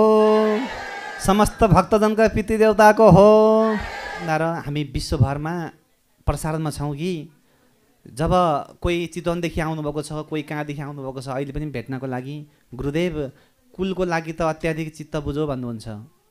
अब हामी सिन्धुली जान्छौँ त्यहाँ गएर चाहिँ सुनकोसीमा गएर आरती गरिसकेपछि सेतीदेवी मन्दिरमा एउटा काम सिद्ध गरेर त्यहाँको प्रसाद ल्याइसकेपछि म सबैजनालाई एउटा फेरीमा दिन्छु। त्यसले घरको सह ल्याउँछ। हजुरको पैसा जोगिएको छैन होइन? पैसा हुँदै हुँदैन भने त्यसको लागि चाहिँ एउटा किनकि हामी सबैलाई फोन गर्न चाहिँ सक्दैनौँ। यसको लागि चाहिँ जयोस टिभी नै हेर्न पनि हुन्छ अनि हरि बोरा फेसबुक अनि हाम्रो रामेश छाप कल्याणकारी सङ्घ भन्ने एउटा पेज छ। त्यो पेजमा गएर जोडिनु भयो भने औषधि पनि पाइन्छ सह हुने सामान पनि पाइन्छ पैसा पर्दैन। तर थाहा भएन भने चाहिँ अलिक गाह्रो हुन्छ किनकि धेरै मान्छे हुनुहुन्छ। अब हामी सिन्धुलीको जुन शक्तिशाली मन्दिरमा गइसकेपछि तिन दिनसम्म त्यहाँ बसेर हामी के गर्छौँ? साधना गर्छौँ। समथिम हामी चार लाख पैसा सक्छौँ एउटा साधना गर्दाखेरि। हुन त किन्न जे पनि पाइन्छ। एउटा कुनै पनि चिया तपाईँले खानुहोस् सामान्य पसलमा गएर खानुहोस् बिस रुपियाँ तिस रुपियाँ पर्ला अलि ठुलोमा जानुहोस् दुई सय पर्ला अझै जानुहोस् अझै जानुहोस् पाँच सयसम्म कति पर्छ? तर चिया त चिया नै हो। कुरो के हो भन्दाखेरि बुटी त बुटी नै हो। तर हामी चाहिँ साधना नगरिकन सिद्ध नगरिकन हामी कसैलाई पनि दिँदैनौँ। अब अहिले यो महिना पुस तर मेरो सिद्धि कहिले हुन्छ भन्दाखेरि फागुनमा हुन्छ। पुस माघ फागुन तिन महिना लाग्छ मलाई सिद्धि गराउनका लागि। त्यसको लागि हामी एउटा कार्यक्रममा जाँदाखेरि तिन दिन बस्दाखेरि केही नभए पनि सबै गर्दाखेरि चार लाख रुपियाँ सकिन्छ। तर भक्तजन छ म मेरो भन्ने त्यही नै हो कि पाँच रुपियाँ देऊ दस रुपियाँ देऊ। त मलाई मतलब भन तर त्यो पाँच दस रुपियाँ पनि शास्त्रले खाली नराखिकन खाली पूजा गऱ्यो भने तिम्रो अर्थ छैन है। तर जति भए पनि राख आफ्नो मनले राख। हजार रुपियाँ राख भन्नु त भन्नेको पाप हो। तर जति राख्छौ तिम्रो बिचरा राख भन्नु भने भन्नेलाई पाप छैन। यानि कि हजुरले पाँच रुपियाँ राखे पनि एक रुपियाँ राखे पनि तर अब हामी फागुनमा या चैतमा गर्छौँ त्यति बेला चाहिँ हामीले के गर्छौँ भन्दा सबै भक्तलाई बोलाएर सामान यहाँ राखेर उहाँबाट ल्याएर यहाँ राखेर सिद्धि गराएर अनि तपाईँको पूजा कोठामा लगेर त्यसलाई के गर्छौँ त पूजा गर्न लगाउँछौँ। जुन सा साधन हुन्छ कि अत्याधिक महत्त्वपूर्ण हुन्छ त्यो धेरै म महत्त्वपूर्ण हुन्छ। त्यसले व्यापार बिजनेसका लागि पनि कार्यमा सिद्धि उन्नति प्रगति गराउँछ। र यसै गरी मैले मान्न पर्ने सम्मानीय दादा नकुल बोरालाई म सामु आउनको लागि म अनुरोध गर्दछु। कता हुनुहुन्छ? धेरै मान्छे बिर्सिहालिन्छ। अनि हाम्रो खड्गाजी हजुरलाई पनि यहाँ आउनको लागि म अनुरोध गर्दछु। भगवती कालीको शक्ति अनि बाह्रमष्ट कुल देवताको शक्ति र उहाँ पनि बोराइरहनु भएको छ। त्यस कारणले गर्दाखेरि सम्पूर्ण भक्तजनलाई आज विशेष गरेर यो कुलको पूजामा भगवती कालीको विशेष पूजामा भगवती कालीले पनि सायद जुराउनु भयो रमेश खड्का किनकि उहाँहरू दुवैजनालाई चाहिँ आज विशेष गरेर यहाँ भगवती कालीले पनि जुराउनु भयो। हाम्रो यो विशेष पूजामा उहाँहरू आउनुभयो र हाम्रो विशेष कार्यक्रम फागुनमा पनि उहाँ रहेको छ। उहाँको घरमा त्यहाँ पनि हामी जयोस प्रत्यक्ष प्रसारण गर्नेछौँ। हाम्रो समय हेतुले भ्याएसम्म र उहाँहरूलाई अब हामीले किनकि सम्मान गर्नुपर्ने नै हुन्छ। त्यस कारणले गर्दाखेरि बहिनी टिको लगाइदिएको त। एकपल्ट नकुल बोहरा रमेश खड्गा कृपया जोरदार तालीले सम्मान गर्नको लागि म अनुरोध गर्दछु बाह्रमष्ट कुलदेवताले रक्षा गरून् कार्यमा पूर्ण सिद्धि होस् नवग्रह शान्ति रहन्। धर्म कर्मपट्टि सदा सर्वदम मन जाओस् अनि देवी भगवती काली सदा सर्वदा दाई नरहन् कार्यमा पूर्ण सिद्धि रहोस् जे काम गरे पनि त्यो काममा सफलता प्राप्त होस्। सधैँभरि आफ्ना घरका कुलदेवताले र पितृदेवताले रक्षा गरून्। हामी यो कामनाका साथ दुवैजनालाई हामीले सम्मान गरिसकेपछि फेरि एकपल्ट जोरदार तालीले सम्मान गर्नको लागि म अनुरोध गर्दछु दुवैजनाको जय होस्। किनकि जसले भगवान्प्रति विश्वास गर्छ जसले भगवान्प्रति भगवती कालीमा शरण पर्छ त्यो घरमा सुख शान्ति समृद्धि उन्नति प्रगति हुन्छ। किन भन्दाखेरि जब भगवतीको पूजा गरिसकेपछि। अब हजुरहरूले पनि के बुझ्न पऱ्यो भन्दाखेरि कुल देवताको पूजा गर्दाखेरि के गर्नुपर्ने छ मैले अघि भने कि जब त्यो गल्ती गर्न हुँदैन। अब राम्रो काम गर्दाखेरि के गर्नुपर्छ जब हाम्रो पुजारीलाई मैले पुजारीमा राखेको छु कि उहाँहरूको टाउ उहाँ के छ हेर्नुहोस्। जब त्यता होइन यता जब मैले यहाँ भोग लगाउँदैछन् कि भगवान्लाई यहाँ हेर्नुहोस् कि टाउकामा के बाँध्न लगाएको छु। किनकि जब त्यो ठुल्ठुलो होटलमा पनि कपालको लागि तपाईँको के के ला त्यो सेतो बाँधेको हुन्छ किनकि त्यो के साइन्सले पनि त्यसलाई नराम्रो मान्छ। जब कुल देवताको लागि पूजा गर्दाखेरि त यति शुद्ध हुनुपर्छ कि त्यो कुरै नगरौँ। अब हामीले एक सय आठ भोग लगाउँदैछौँ तपाईँहरूका सम्पूर्ण कुल देवताको लागि तपाईँका सम्पूर्ण पितृदेवताको लागि। तर कुललाई तपाईँको अलिकति नराम्रो चिज नेगेटिभ चिज भइदियो भने के हुन्छ भन्दाखेरि त्यहाँ कुल देवता दुःखी हुन्छन्। यदि तपाईँका कुल देवता राम्रो चिज र त्यहाँभित्र तपाईँको राम्रो कुरा भयो भने के हुन्छ भन्दाखेरि कुल देवता अत्याधिकै खुसी हुन्छन्। त्यो कुल देवतालाई खुसीको त्यहाँ सीमै हुँदैन। कुल देवतालाई त्यहाँ दुःख कष्ट दरिद्रको पनि के हुन्छ त? भय हुँदैन त्यहाँ। सम्पूर्ण कार्यमा सिद्धि उन्नति प्रगति सोचे आँटे चिताएको कुरा के हुन्छ? पुग्छ। त्यस कारणले गर्दाखेरि बिहान उठ्ने केही गर्नु पर्दैन। अब आज पूजा गरिसकेपछि ग्रहको पनि पूजा गर्न पर्दैन। पितृ खर्काष्टक पनि पूजा गरिदिन्छु म। नवग्रहको पनि पूजा गरिदिन्छु। पितृ दोष पनि हटाइदिन्छु म आज। हजुरले घरमा अब लगभग एक वर्ष छ महिना पूजा गर्नु पर्दैन। ढुक्क भयो हुन्छ। त्योभन्दा पछि पूजा गर्नु पऱ्यो भने फेरि म यहाँ बोलाउँछु। आउने यहाँ पूजा गरेर जाने। अब किनकि नाम टिपिहाल्नु भयो होला यो फाइलमा दैनिक पूजा यहाँ भइहाल्छ। अब बाहिर गएर आरती गर्दाखेरि हामी गरी नाम टिपिहाल्नु भयो भइहाल्यो सकिहाल्यो। अब ठुलो पूजा गर्दाखेरि म निम्त गरिहाल्छु। त्यस कारणले गर्दाखेरि धेरै पैसा पनि घरमा खर्च गरेर पूजापाठ गर्नु पर्दैन। थोरै पैसाबाट पनि पूजा हुन्छ तर के गर्नु पऱ्यो जान्नु पऱ्यो अनि समयमा आउनु पऱ्यो यदि आइएन भने पनि हजुरको नाम छ त्यसलाई हामी इन्ट्री गर्छौँ कम्प्युटरमा। अनि वाचन गर्छौँ कि पूजा गर्ने बेलामा दैनिक बिहान र बेलुका यहाँ भइ नै रहन्छ कुनै पनि बेला बन्द हुँदैन। अब रह्यो कुरा हामीले घरमा सक्यौँ भने बिहान र बेलुका कुलको नाममा चाहिँ धो बाल्नु होला। हे कुल त मलाई रक्षा गरिदेऊ। कार्यमा सिद्धि होस् भनेर। यदि सकिएन भने यदि सकिएन भने महिनामा एकपल्ट पूर्णिमाको दिन धुप बालिदिनुहोस् एउटा बत्ती बालिदिनुहोस्। किन भन्दाखेरि आज त नेगेटिभ भाइब्रेसन तपाईँको कुललाई पनि रोकेको चिज हट्दैछ आज त। त्यति ठुलो पूजा हो। किन? तलतिर गुरुदेवले पूजा गर्दै हुनुहुन्छ वेदको मन्त्र। यतापट्टि भइरहेको छ। यतापट्टि हामी पूजाको तयारीमा छौँ। यतापट्टि हामी एक्काइस कुलको लागि छौँ भने उतापट्टि हामी के को लागि छौँ? पितृको लागि छौँ। किन? यो सबै सिस्टम के छ? बाँधेको छ। सबै सिस्टम के छ? यहाँ मिलाएको छ। यस्तो कार्यमा हामी सहभागी हुनु पाउनु पनि हाम्रो पनि कुल देवता शक्तिशाली रहेछन् कुल देवताले यहाँ निम्त्याए भन्ने कुरा बुझ्छु म त। त्यस कारणले गर्दाखेरि हजुरले पनि जागिरमा हुनुहुन्छ भने पनि विदेशको यात्रामा भए पनि कुल देवता रक्षा गर। मेरो छोरालाई राम्रो होस् होइन? हे कुल देवता मेरो वंशमा राम्रो होस् भन्नुहोस्। मेरो मात्रै राम्रो होस् नभन्नुहोस्। मेरो वंशको राम्रो होस्। तपाईँको कुललाई रक्षा गर्ने तपाईँको कुललाई कुलले कल्याण गर्ने तपाईँको कुलले तपाईँको वंश रक्षा गर्ने त हजुरको हातमा छैन। त्यो तपाईँको कुलको हातमा छ। तर कुलले भन्छन् स्वार्थी मनले मलाई पूजा नगर। कसैको करले नगर कसैको डरले नगर बरु नगर। तर तिमी निस्वार्थ भावनाले मेरो पूजा गर म खुसी हुन्छु। तिमीले डरले र करले गर्यौ भने यति जानेको छैन भने बरु सिक बुझ। यदि तिमीलाई उसलाई जानेको छैन भने चाहिँ फेरि कुलले छोडिदिन्छन्। जानेको छैन भने चाहिँ अरूसँग जान्ने गुरुहरूसँग बुझेर पूजा गर्न पाइयो। तर कसैको डर र तरासमा गरेको पूजा कहिले पनि घरमा सिद्धि हुँदैन। किनकि हामीले हजुरलाई बोलायौँ हजुर आउनुभयो त्यो राम्रो कुरा हो। आऊ आऊ भनेर मैले बोलाएँ भने तपाईँको कार्य सिद्धि हुँदैन। यो शास्त्रले भन्छन् कि आऊ आऊ भनेर जसले बोलाएको त्यो के भयो? कर भयो गर्नै पर्छ हुनै पर्छ भनेर जसले पूजा गराउँछ त्यहाँ पनि कार्यमा सिद्धि हुँदैन उन्नति प्रगति हुँदैन।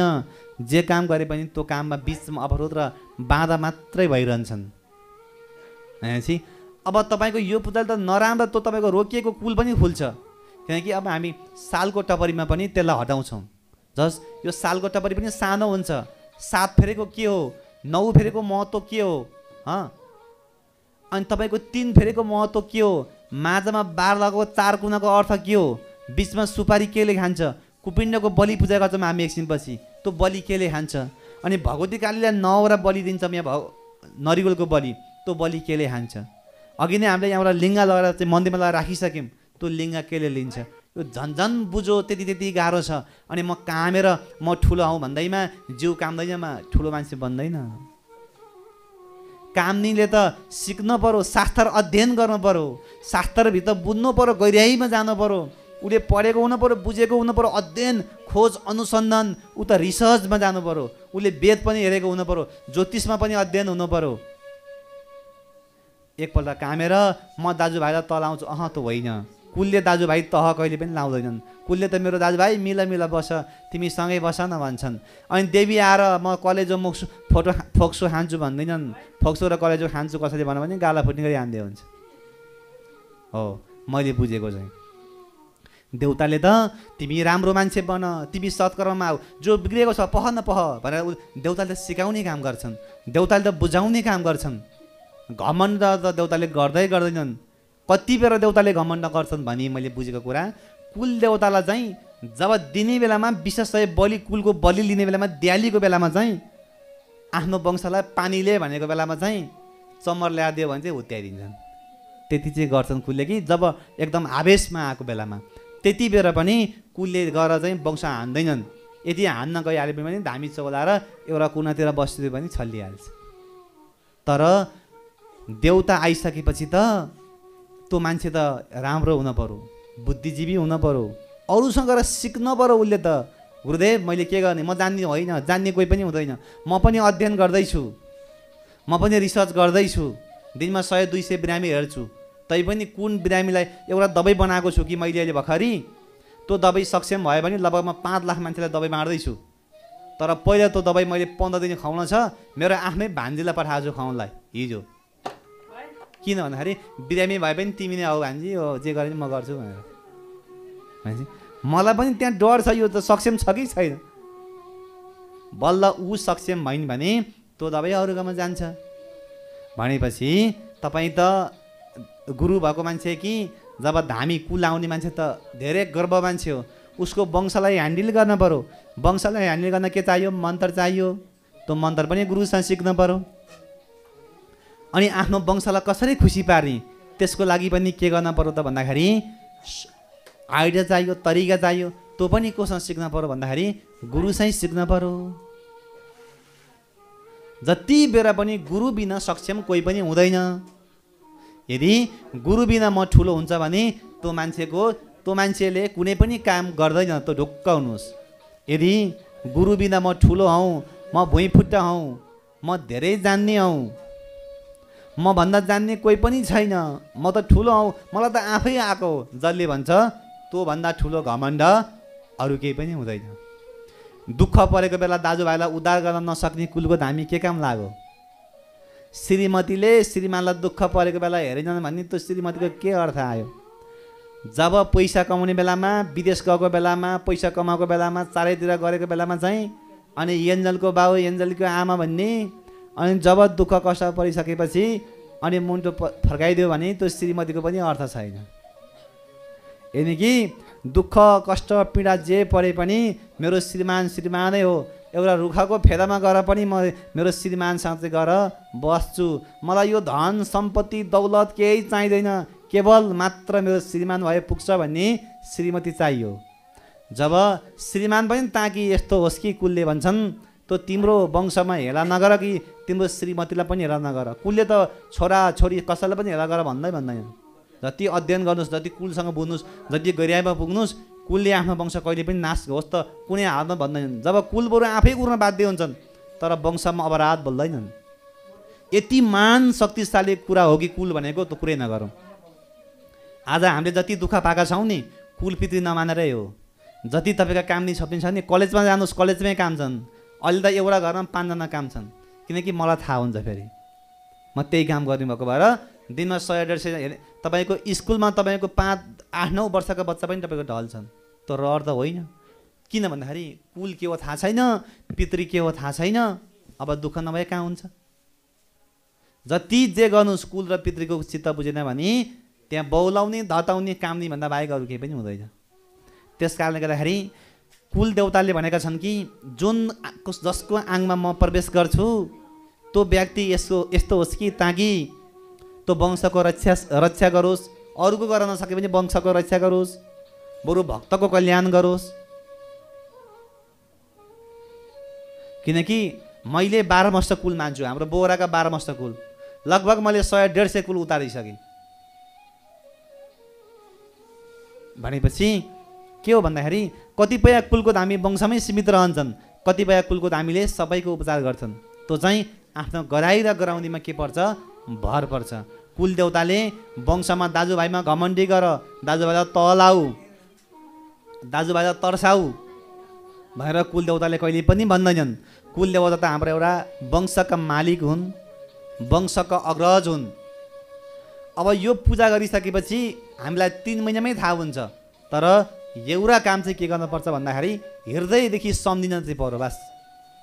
तर भोलि गएर हामीले सम्झेनौँ भने त कुलले फेरि साथ देला नदेला थाहा छैन। तर टिभीको कार्यालयमा आएर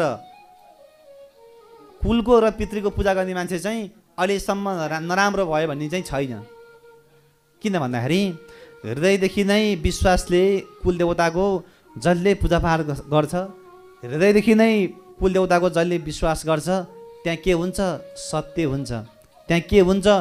उन्नति प्रगति हुन्छ। त्यहाँ के हुन्छ? कुल देवता खुसी हुन्छन्। अब हामी कुल देवतालाई भोग लगाउँदैछौँ। यो भोग लगाइसकेपछि आरती गरिसकेपछि हल्का फुल्का भोग लाग्यो होला म कुलले तपाईँको कुलले खाएको प्रसाद पठाइदिन्छु। अक्षता पाइयो कि पाइएन? पाइयो ल। यथा यज्ञ शक्तिबाट सर्व शान्ति गान्धी वित्त सर्वै शान्ति गुरु मेरो जाले विष्णु थाले विष्णु ब्रह्म विष्णु महेश्वर शिव हरिचन्द्र सूर्य गुरु कालीको शक्ति गुरु कालीको शरण गुरु कालीको विधि गुरु कालीको विधान्त। गुरुको सत्य गुरुको शरण। गुरुको विधि गुरुको विधान्त। झल र धल पूर्व र पश्चिम उत्तर र दक्षिण चारै दिशाले कुन चौधै भवनको बन्धनलाई खुल्लामा खुल्ला गरी नवदुर्गा देवी भगवती काली। मानको इच्छा आकाङ्क्षा पुरा गरिदेऊ। शनि राहु केतु जस्ता ग्रह पनि सर्वशान्ति रहन्। कालीको शक्ति कालीको शरण। कालीको विधि कालीको विधान्त गुरुको सत्य गुरुको शरण गुरुको विधि गुरुको जल काली थल काली रक्त काली बिजुवा काली दन्त काली महाकाली महालक्ष्मी महासरस्वती महाभगवती। छत्तिस काली गुरु भगवतीको शक्तिबाट सर्वशान्ति हे नवदुर्गा देवी भगवती काली। पूर्व पश्चिम उत्तर दक्षिण चारै दिशा कुना चौधै भवनको बन्धन खुल्ला।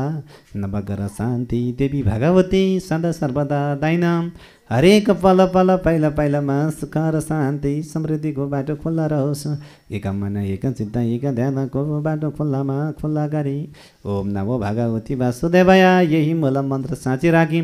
सर्वशान्ति गान्धीवित्त गुरुको शक्ति गुरुको शरण भद्रकाली दक्षिणकाली माङ्काली वीरभद्र शैभू माता पलञ्चोकी भागवती कालिञ्चोकी माई गोरख काली गुरु बागलुङ कालिका लमचुम कालिका छप्ती बाराई देवी गुरुको शक्ति कुशेश्वर भगवान् सन्तादेश्वर धानेश्वर निखिलेश्वर राष्ट्रदेव पशुपतिनाथ गुरुको शक्ति गुरुको शरण अतल तल महातल रस तल तल तल पतल गुरुको शेष शक्तिबाट सर्वशान्ति गान्धीवित्त पूर्व पश्चिम उत्तर दक्षिण चारै दिशा आठेको न चौधै भवानको बन्धनलाई सर्वशान्ति। ओम शान्ति ओम गुरुको सत्य गुरुको शरण गुरुको विधि गुरुको विधान्त सत्य गुरु काली गुरुको शक्तिबाट। हरि ओम सर्वशान्ति गुरु जले विष्णु थले विष्णु ब्रह्म विष्णु महेश्वर शिव हरि। चन्द्र सुरुज गुरु कालीको शक्ति गुरु कालीको शरण गुरु कालीको विधि गुरु कालीको विधान्त गुरु हरि ओम सर्वशान्ति गुरु भगवती काली गुरुको शक्ति गुरु कालीको शरण गुरु कालीको विधि विधान्त गुरु। नवगर शान्ति गरिदेऊ गुरु मेरो भगवती काली दाइन बसिदेऊ सर्वै शान्ति गन्धवित्त सपरिवारमा कुलदेवता थानी देवता वायु देवता इष्ट देवता देवी देवताको यथा यज्ञ शक्तिबाट सर्वै शान्ति गुरुको शक्ति गुरुको शरण गुरुको विधि गुरुको विधान्त सर्वै शान्ति गुरु भगवती काली गुरुको शक्तिबाट सर्वै शान्ति गुरु भगवती ल यता मन्दिरतिर हेरेर एकपल्ट यसो नमन गरौँ त मन्दिरतिर हेरेर है हे भगवती काली मनको इच्छा आकाङ्क्षा पुरा गरिदेऊ कार्य पुनः सिद्धि गरिदेऊ। छत्तिस काली गुरु भगवतीको शक्तिबाट सर्व शान्ति गुरु। हरि ओमा महाकाली महालक्ष्मी महासरस्वती। भगवती सर्वै शान्ति। बाह्रमस्त कुल देवताको हो। गुरु भगवती काली माताको हो। समस्त देवी देवताको हो। आयोजक परिवारको हो। समस्त भक्तजनको हो। जय भन्ने सबैको हो। जय नभन्ने सबैको हो। शिव हरिचन्द्र सुज। छत्तिस काली गुरु भगवती यज्ञ शक्तिबाट सर्वशान्तिका निमित्त। हो जले विष्णु थाले विष्णु ब्रह्म विष्णु महेश्वर शिव हरि। हल्दीपुरम भुलचुक भएमा माफ गरिदेऊ कार्यमा पूर्ण सिद्धि होस्। नवग्रह शान्ति रहन् कार्यमा पूर्ण सिद्धि होस्। छत्तिस काली गुरु भगवती कालीको सय शक्तिबाट सर्व शान्ति ओम महाकाली महालक्ष्मी महासरस्वती गुरु भगवती सर्व शान्तिका निमित्त। ओम कालीको शक्ति कालीको शरण कालीको पूर्व पश्चिम उत्तर दक्षिण जायत्री साठ एकाउन्न चौध भन सर्वै छत्तिस काली गुरु भगवती गल्ती गुरु भक्ति मान्दै देव कार्य पुनः स्थितिका निमित्त समस्त भगवती कालीको सरस्वती सर्वै शान्ति। लौत गुरु काली विशेष बलिको सत्य ओ महाकाली महालक्ष्मी महासरस्वती गुरु भगवती सर्व शान्ति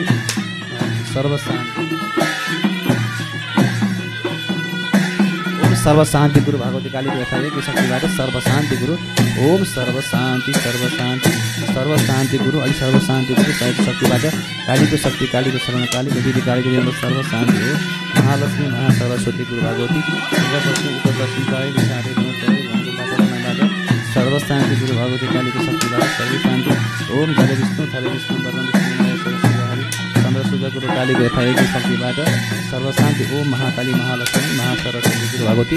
धले विष्णु थाले विष्णु वर्प विष्णु महेश्वर शिवहरि चन्द्र सूर्य ओम काली गुरुको यथाएको शक्तिबाट सर्व शान्ति गुरुको यथाएको शक्तिबाट सर्व शान्ति गुरु सर्वै शान्ति। गुरुमुखी भगवती काली माताको हो समस्त भक्तजनको हो आयोजक परिवारको हो समस्त भक्तजनका कुलदेवताको हो भक्तजनका पितृदेवताको हो आयोजक परिवारको हो छत्तिस काली गुरु भगवती माताको हो। हो भगवान्को प्यारा भक्त सजनबिन हामीले भगवती कालीलाई धुमधामका साथ बलि दियौँ। हाम्रो जुन त्यहाँ कम्प दिने दादा हुनुहुन्छ एउटा त्यता हेर्नुहोस् कि आज मेरो उहाँसँग दोस्रो भेट हो। जयोस टिभी अत्याधिक हेर्नुहुन्छ अरे उहाँले सुन्नुहोस्। कुल मानेको छैन थाहा छैन धेरै वर्षभन्दा मानेको। अनि जयोस टिभी हेरेपछि उहाँलाई हेर्दा हेर्दै तपाईँको कम्प आउला जस्तो भयो अरे। यदि कि मलाई नभेटिकन टिभी हेर्दा सुन्नुहोस्। अनि मैले आज ठुलो पूजा छ तपाईँ आउनुहोस् भने। ल हेर्नुहोस् है। अब मैले अहिलेदेखि हेरेर आएको छु उहाँको अलिअलि जिउ हल्लिरहेको थियो है।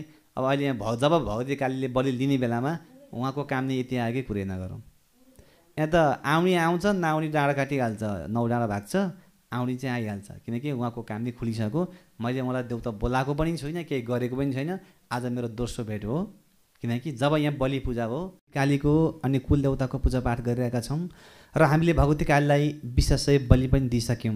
अब योभन्दा पछि हामी नवग्रहको पूजा अनि हाम्रो एउटा बलि पूजा त्योभन्दा पछि अनि हवन अनि गङ्गा आरती पछि हाम्रो कार्यक्रमलाई हामी समापन गर्छौँ। अब हजुरहरूले यहाँबाट गइसकेपछि आज एउटा काम गर्नु पऱ्यो कि घरमा गएर के काम भन्दाखेरि जहाँ तपाईँ बस्नुहुन्छ अथवा कोठा हो घर हो जे छ त्यहाँ आफूले बेलुका सन्ध्याकालमा मैले धेरै पूजा आज सबै ग्रह पूजा गरेको छु। मैले सकेको सहयोग गरेको छु। हे कुलदेवता मेरो काममा सिद्धि होस् भनेर आफ्नो घरमा मूल ढोकामा एउटा बत्ती अथवा तामाको दियो त्यति पनि भएन भने माटाको दियोमा भए पनि त्यति काम गरिबक्सला किनकि यहाँ त मैले सबै कुरा गरिदिएको छु। त्यति हजुरले घरमा गएर गर्नुभयो भने हजुर जहाँ बस्नुभएको छ त्यही ठाउँमा मात्रै त्यति गर्नुभयो भने तपाईँका एक्काइस कुलले पनि ठुलो आशीर्वाद दिन्छन्। किनकि तपाईँको कार्यमा पनि ठुलो सफलता हुन्छ। यहाँबाट जाने बित्तिकै बेलुका सन्ध्याकाल भइसकेपछि यदि के अहिले त चाँडै रात पर्छ। समथिङ सातदेखि साढे सात नकटाइकन चाहिँ हामीले मूल ढोकामा एउटा तामाको दियो छ भइहाल्यो। तामाको दियो छैन भने एउटा माटाको दियोमा त्यहाँ थोरै तपाईँको तल एउटा चोखो प्लेट होस् अथवा सालको टपरी होस् दुना होस् त्यति पनि भएन भने एउटा केही न केही पत्रिका होस् जे होस् त्यो माथि थोरै अकै चामल राखेर अलि हावाले नहान्ने ठाउँमा दक्षिण दिशातिर फर्काइदिएर अथवा उत्तर दिशातिर फर्काइदिएर हे कुलदेवता हे पितृदेवता मेरो कार्यमा सफलता होस् भनेर हजुरले अनिवार्य जो यहाँ आउनुभएको छ उहाँहरूले चाहिँ किन भन्दाखेरि तपाईँ यहाँ आएर पूजा गर्नुभएको छ? तपाईँ यहाँ आएर सबै कुरामा समावेश हुनुभएको छ। त्यति तपाईँ बस्ने निवासमा त्यति काम गरिदिनु भयो भने ठुलो सफलता प्राप्त हुन्छ। अनि त्यहाँ तपाईँका कुलदेवता र पितृदेवताले पनि तपाईँका परिवारलाई तपाईँका छोरा नानीलाई पनि धेरैभन्दा धेरै आशीर्वाद दिनुहुन्छ। किन भन्दाखेरि मलाई त्यहाँ पूजा गरेर पनि मलाई ठुलो सम्मान गर्यौ मलाई सम्झ्यौ। तिनीप्रति नवग्र शान्ति हुन् कार्यमा सफलता प्राप्त होस् भनेर तपाईँका पितृदेवता कुलदेवताले आशीर्वाद दिनुभयो भने विदेशको यात्राको बाटो खुल्छ होइन? स्वदेशको यात्रामा सफल हुन्छ। रोकिएका धन पनि कर कर्मै सा आउँछन्। ती शत्रु बैरी पनि तपाईँका कर्मै साँझ के हुन्छन् त झुक्छन्। तब त तपाईँका त्यहाँ कुल र पितृको आशीर्वाद चाहिँ हजुरले पाउनु के छ? जरुर छ। त्यस कारणले गर्दाखेरि आज नबिर्सिकन यो काम गरिबस्छ होला शास्त्रले के भन्छन् भने जसले बाउले छोराको कर्तव्य पुरा गर्छ किनकि जो बाउ छ उहाँले मेरो छोरालाई मैले यो कर्तव्य पुरा गर्नुपर्छ भनेर संस्कार छ त्यो संस्कारलाई पुरा गर्छ पढाउँछ होइन? पढाइ लेखाइमा पनि कमी गराउँदैन आफ्ना कार्यमा पनि पूर्ण सिद्धि गराउँछ अनि तपाईँको चाहिँ दसैँ भाइ छोरा भए पनि एउटै भाइले पनि काफी हुन्छ अरे। किन भन्दाखेरि त्यहाँ संस्कार भयो भने एउटा सूर्य उदाउँदाखेरि यो जगतै उज्यालो हुन्छ। चन्द्रमा हजारौँ लागे पनि एउटै चन्द्रमाले चाहिँ तपाईँको उज्यालो छाउँछ। भन्नुको अर्थ के हो भने शास्त्रले के भन्छन् भने ताकि त्यो बाउ यस्तो होस् कि संस्कारी होस् त्यो छोरो पनि यस्तो होस् कि बाउ आमालाई चिन्ने होस् र बाउ आमाको सम्मान गर्ने होस्। बाउ आमालाई सद्मार्गको बाटोमा मेरा जिम्दा देउता भनेका बाबा आमा हुन् भन्ने पुत्र होइन? सुपुत्र छोरो होस् कि? तब त त्यो घरमा एक्काइस कुल पार तर्छन् रे। कुन घरमा? भन्दाखेरि कुल पार तरेनन् तरेन भन्दा पनि तपाईँ हामीले पनि तार्ने हो कुललाई। जसको घरमा संस्कार मिल्छ बाबाले को सोच छोराको सोच छोरीको सोच मिल्छ होइन? त्यो घरमा एक्काइस कुल पार तर्छन् मेरो छोरालाई त कतै पनि दाग नलागोस् हे भगवान् जब त्यो बाबाले भन्छन्। मेरो बाबाप्रति कसैले पनि आचार्ने काम नगरोस् मेरो बाबालाई कसैले पनि गाली गरेको सुन्न नपरोस् हे भगवान्। तब त्यो पुत्र सुपुत्रले भन्छ। पुत्र सुपुत्र कुपुत्र तिनवटा हुन्छन्। कुपुत्रको चाहिँ काम छैन। पुत्र ठिकै हुन्छ सुपुत्र चाहिँ पाउन गाह्रो हुन्छ। अब त्यो सुपुत्र भयो भने आफ्नो बाबालाई राम्रोसँग भगवानै मान्छ। पुत्र भयो भने बाउ त हो मान्नुपर्छ ठिकै छ। जे भयो भने बाउ चाहिँ हो जन्म दिएको हो भन्छ। कुपुत्र भयो भने मार्ला कि आज त बाँच्यो भोलि त के होला त्यस्तो हुन्छ। यसको अर्थ यो हो कि भगवान्को प्यारो भक्त सजनबिन आफूले पुनर्जन्ममा पनि राम्रो काम गर्नु पऱ्यो त्यो पुनर्जन्ममा के गऱ्यौँ थाहा भएन तर यो धरतीमा आइसकेपछि पनि हामीले राम्रो काम गरेर अनि त्यो कुपुत्रलाई पनि हामीले सुपुत्र बनाउन हामीले सिक्नु पऱ्यो संस्कार मिल्छ कुरा मिल्छ सबै कुरा बानी व्यवहार मिल्छ सबै कुराको राम्रो हुन्छ। के हुन्छ? त्यो घरमा कुल देवताको बास हुन्छ। जुन घरमा बेलुका सन्ध्याकालमा झगडा पर्दैन जुन घरमा बेलुका सन्ध्याकालमा भाँडा कुरा धेरै बज्दैनन् जुन घरमा सन्ध्याकालमा बेलुका बाबु नानीको आवाज आउँदैन रोको जुन घरमा बिरामीभन्दा बाहेक सन्ध्याकालमा सुत्दैनन् किनकि आफ्नो काममा व्यस्त रहन्छन् त्यो घरमा स्वयं कुलदेवताले के हुनुहुन्छ? विराजित रहनुहुन्छ। जुन घरमा सन्ध्याकालमा झगडा पर्छ एक आपसमा रुवावासी हुन्छ अनि बिहान सूर्य उदाइसक्दा पनि त्यो घरमा ढोका खोलेका हुँदैनन्। गाग्री भाँडा सबै रित्ता हुन्छन् ठुल्ठुलो आवाज आउँछ। यस्तो घरमा जब बेलुका खाना खाइसकेपछि भाँडा जुठाइरहन्छन् त्यो घरमा कहिले पनि कुलदेवताको र पितृदेवताको बास हुँदैन। दरिद्र नै दरिद्रको बास हुन्छ।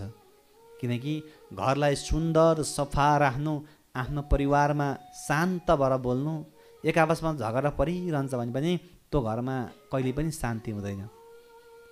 किनकि पहिला कुलले भन्छन् तिम्रो मनलाई कन्ट्रोल गर।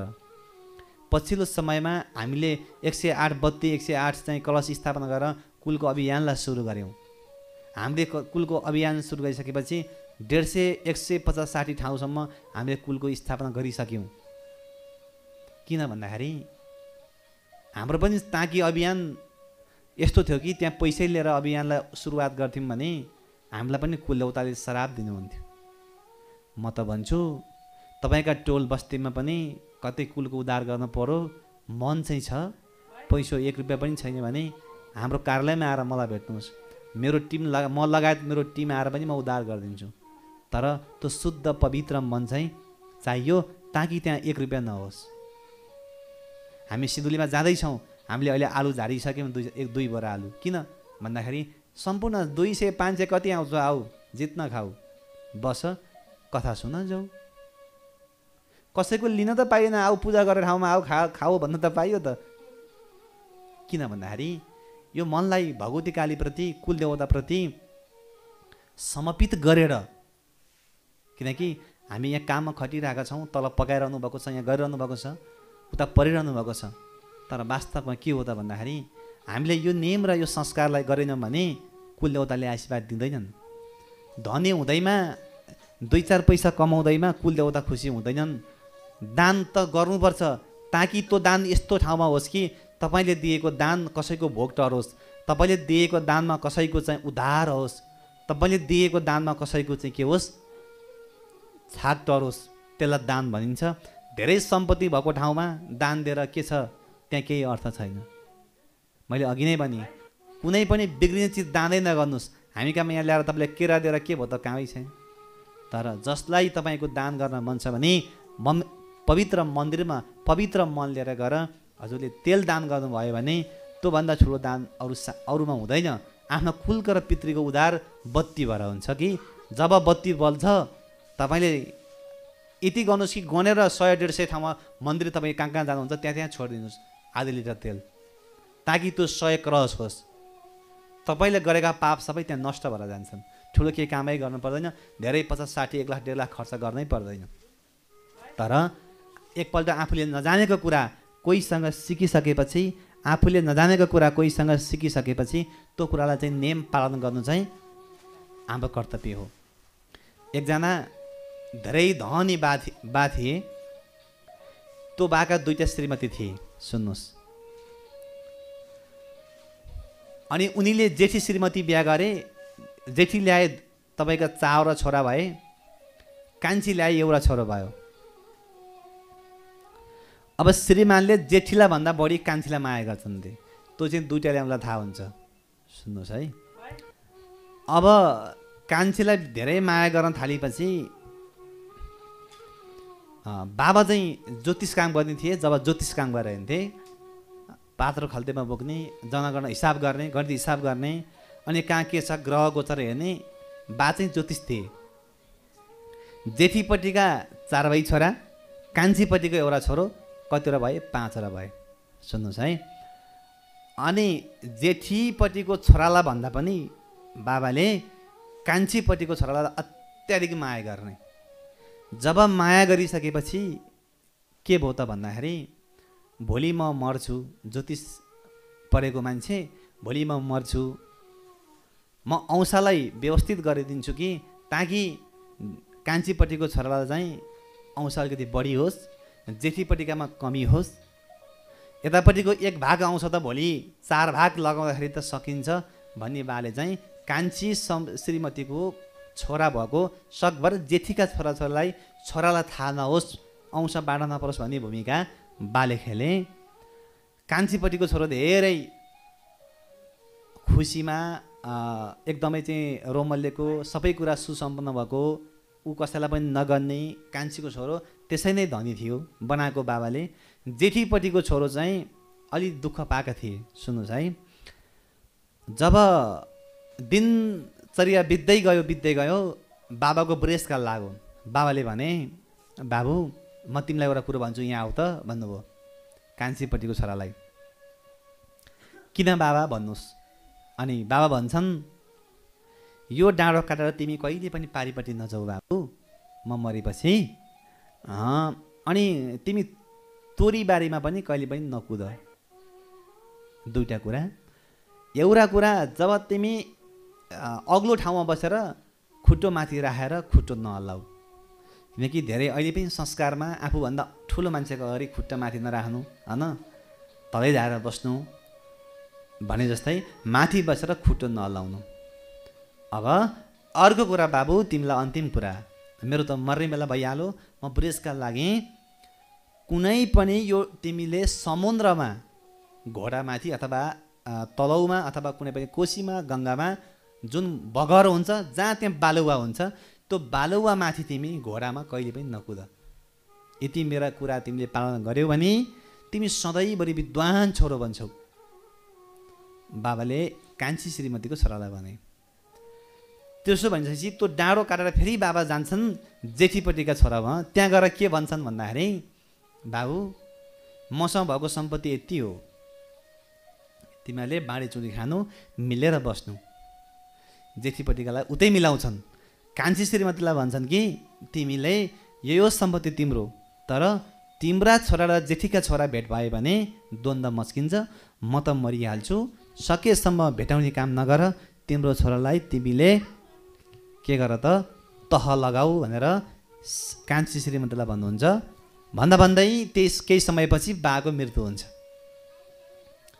बाको मृत्यु भइसकेपछि कान्छीपट्टिको छोराले ब्या बाको मृत्यु भएको थाहा पाउँदैन। जेठीपट्टिका छोराले चाहिँ काजक्रिया गर्छन्। अनि आजभन्दा भोलिभन्दा पर्सिभन्दा बा आउँदैनन्। तर जेठीपट्टिका छोराले हाम्रै भाइ हो भनेर राम्रोसँग चिनेको छैन। अनि बुढो मान्छे नआएपछि उसले एक दिन चाहिँ के सम्झेछ अरे अलिक फुर्सदको समय भने मलाई बाले नकुद्नु भनेको छु अब एकपल्ट म कुदेर हेर्नु पऱ्यो के हुन्छ भन्ने दिमागमा थियो सुन्नुहोस् है। अनि बेलुका तपाईँको सन्ध्याकाल पण्डाएपछि जुन बाले भनेको लामो एउटा बारी थियो त्यो बारीमा डल्लो पर ओहोर दोहोर गर केही पनि भएन बेलुका सुतु जब बेलुका सुतिसकेपछि आइया आमा आइया बा म मरेँ म मरेँ भनेर चाहिँ कराउन थाल्यो अरे। अनि आमाले भन्छन् बाबु तिमीलाई के भयो? के भयो के भयो मम्मी? म त मरिसकेँ भन्छ। जब आमा गएर खुट्टामा हेर्छन् कि तपाईँको जुन तोरी बारीमा कुदेको दिउँसो कुदेको थियो त्यो कुदेको तपाईँको चाहिँ तिस्काला चाहिँ उसको खुट्टामा देखिन्छ। अनि आमाले तानेर फ्या फ्याँकिदिन्छन्। अनि उनी के हुन्छ त भन्दाखेरि त्यहाँ जब चाहिँ ऊ थलिन्छ बिरामी हुन्छ। अनि उसले भन्छ मेरो बाबाले मलाई यो गडामा नकुद्नु भनेको थियो। मेरो खुट्टामा तिस्काला जाकियो कुरो त हो पो रहेछ। अब मलाई बाबाले भनेको छ म अग्लो ठाउँमा गएर खुट्टा नलाऊ है बाबु। अब कुद्दाखेरि त मेरो खुट्टामा म तिन महिना थला पारेँ एकपल्ट गएर खुट्टो हल्लाइदिन्छु के हुनुहोस् जब भोलिपल्ट गएपछि माथि गएर टक्क बस्यो आनन्दले बस्यो कि खुट्टो उसले चाहिँ हल्लायो हलाउँदै हलाउँदै गयो गर्मीको बेला थियो तलपट्टि सर्प आ गरेर बसिरहेको थियो।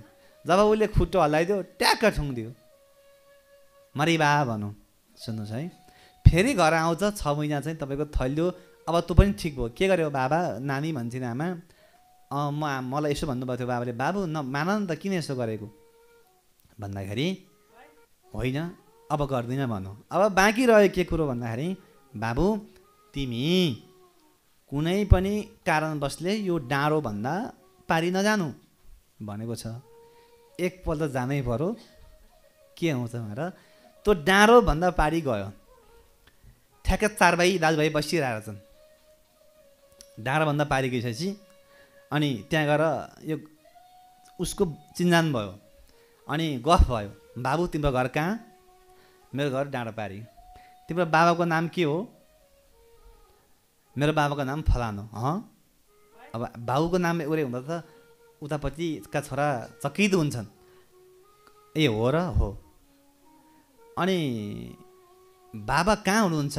बाबु भनेर भाइ भनेर उतापट्टिका जेठीका छोराले भन्छन् कि कान्छीपट्टिको छोरो के भन्छ भन्दा खै अलिकति भयो समय भयो बुढालो रोटेर हेरिरहन्थेँ अहिले त मैले देखेको छैन। अहिले त मलाई थाहा छैन भन्छ। अनि जेठीपट्टिका छोरालाई के भन्छ बाबु उतापट्टि सम्पत्ति कति छ? भनेर जेठीका छोराले भन्छन् कि छ लेली त्यति छ। ल बाबु तिमी त मेरो भाइ पो रहेछौ। म तिम्रो दाइ रहेछु तिम्रो बाबा र मेरो बाबा एउटै हुन् आमा दुइटा हुन्। अब यतापट्टिको कति छ? बाँडफाँड गरौँ। तिमी पनि बाबुको काजक्रिया गर। उतापट्टि पनि कति छ? बाँडफाँड गरौँ भनेर भनिसकेपछि झस्याङ्ग भयो कि ओहो मलाई बाबाले यसो भनेको थियो। भनेपछि त्यही दाजुभाइमा ऊ बसेर अब बाउको ठाडो किरा उसले गर्यो। जब सम्पत्तिको लेखाजोखा भइसकेपछि कान्छीपट्टि सम्पत्ति धेरै नै यथा थियो। जेठीपट्टि के थियो? सम्पत्ति कम थियो। यतापट्टि राम्रो बारी राम्रो खेत धन सम्पत्ति जेठीमा कान्छीमा बढी थियो जेठीमा कम थियो। जेठीका छोरालाई अत्याधिक फाइदा भयो। जेठी खुसी भइन्। अब तोरी बारीमा नकुद्नु भनेको थियो कुदी। यही फल पाएँ खुट्टो माथि राखेर तिमी नलाउनु है छोरा भन्नुभएको थियो। तँ पनि हल्लाएँ यही फल पाएँ यो डाँडो काटेर नजाऊ है बाबु भनेको थियो त्यहाँ पनि गएँ। यही फल पाएँ। अब जे हो भो भनेकै हो बाबुले एकपल्ट बगर मगर कुदिदिउँ न त। भन्ने चाहिँ छोराको सोच आयो। सुन्नुहोस् है। अनि के भनेको थियो अरे भने तिमी बगरमा नकुद्नु यदि कुद्यौ भने तिमी कुद्नै पर्यो भने बाबु। घोडामाथि कुद्नु तर तिमी भुइँमा नहिँड्नु है भनेको थियो अरे बाबाले। सुन्नुहोस् है किनकि पहिलाका बाबा आमा भनेको त भगवान् स्वरूपै हुन्छन्। अनि अब एकपल्ट चेक गरौँ न त अन्तिम कुरा हो भनेर। अब बगरमा जानु त धेरै टाइम लाग्छ म वार पार गर्न सक्दिनँ।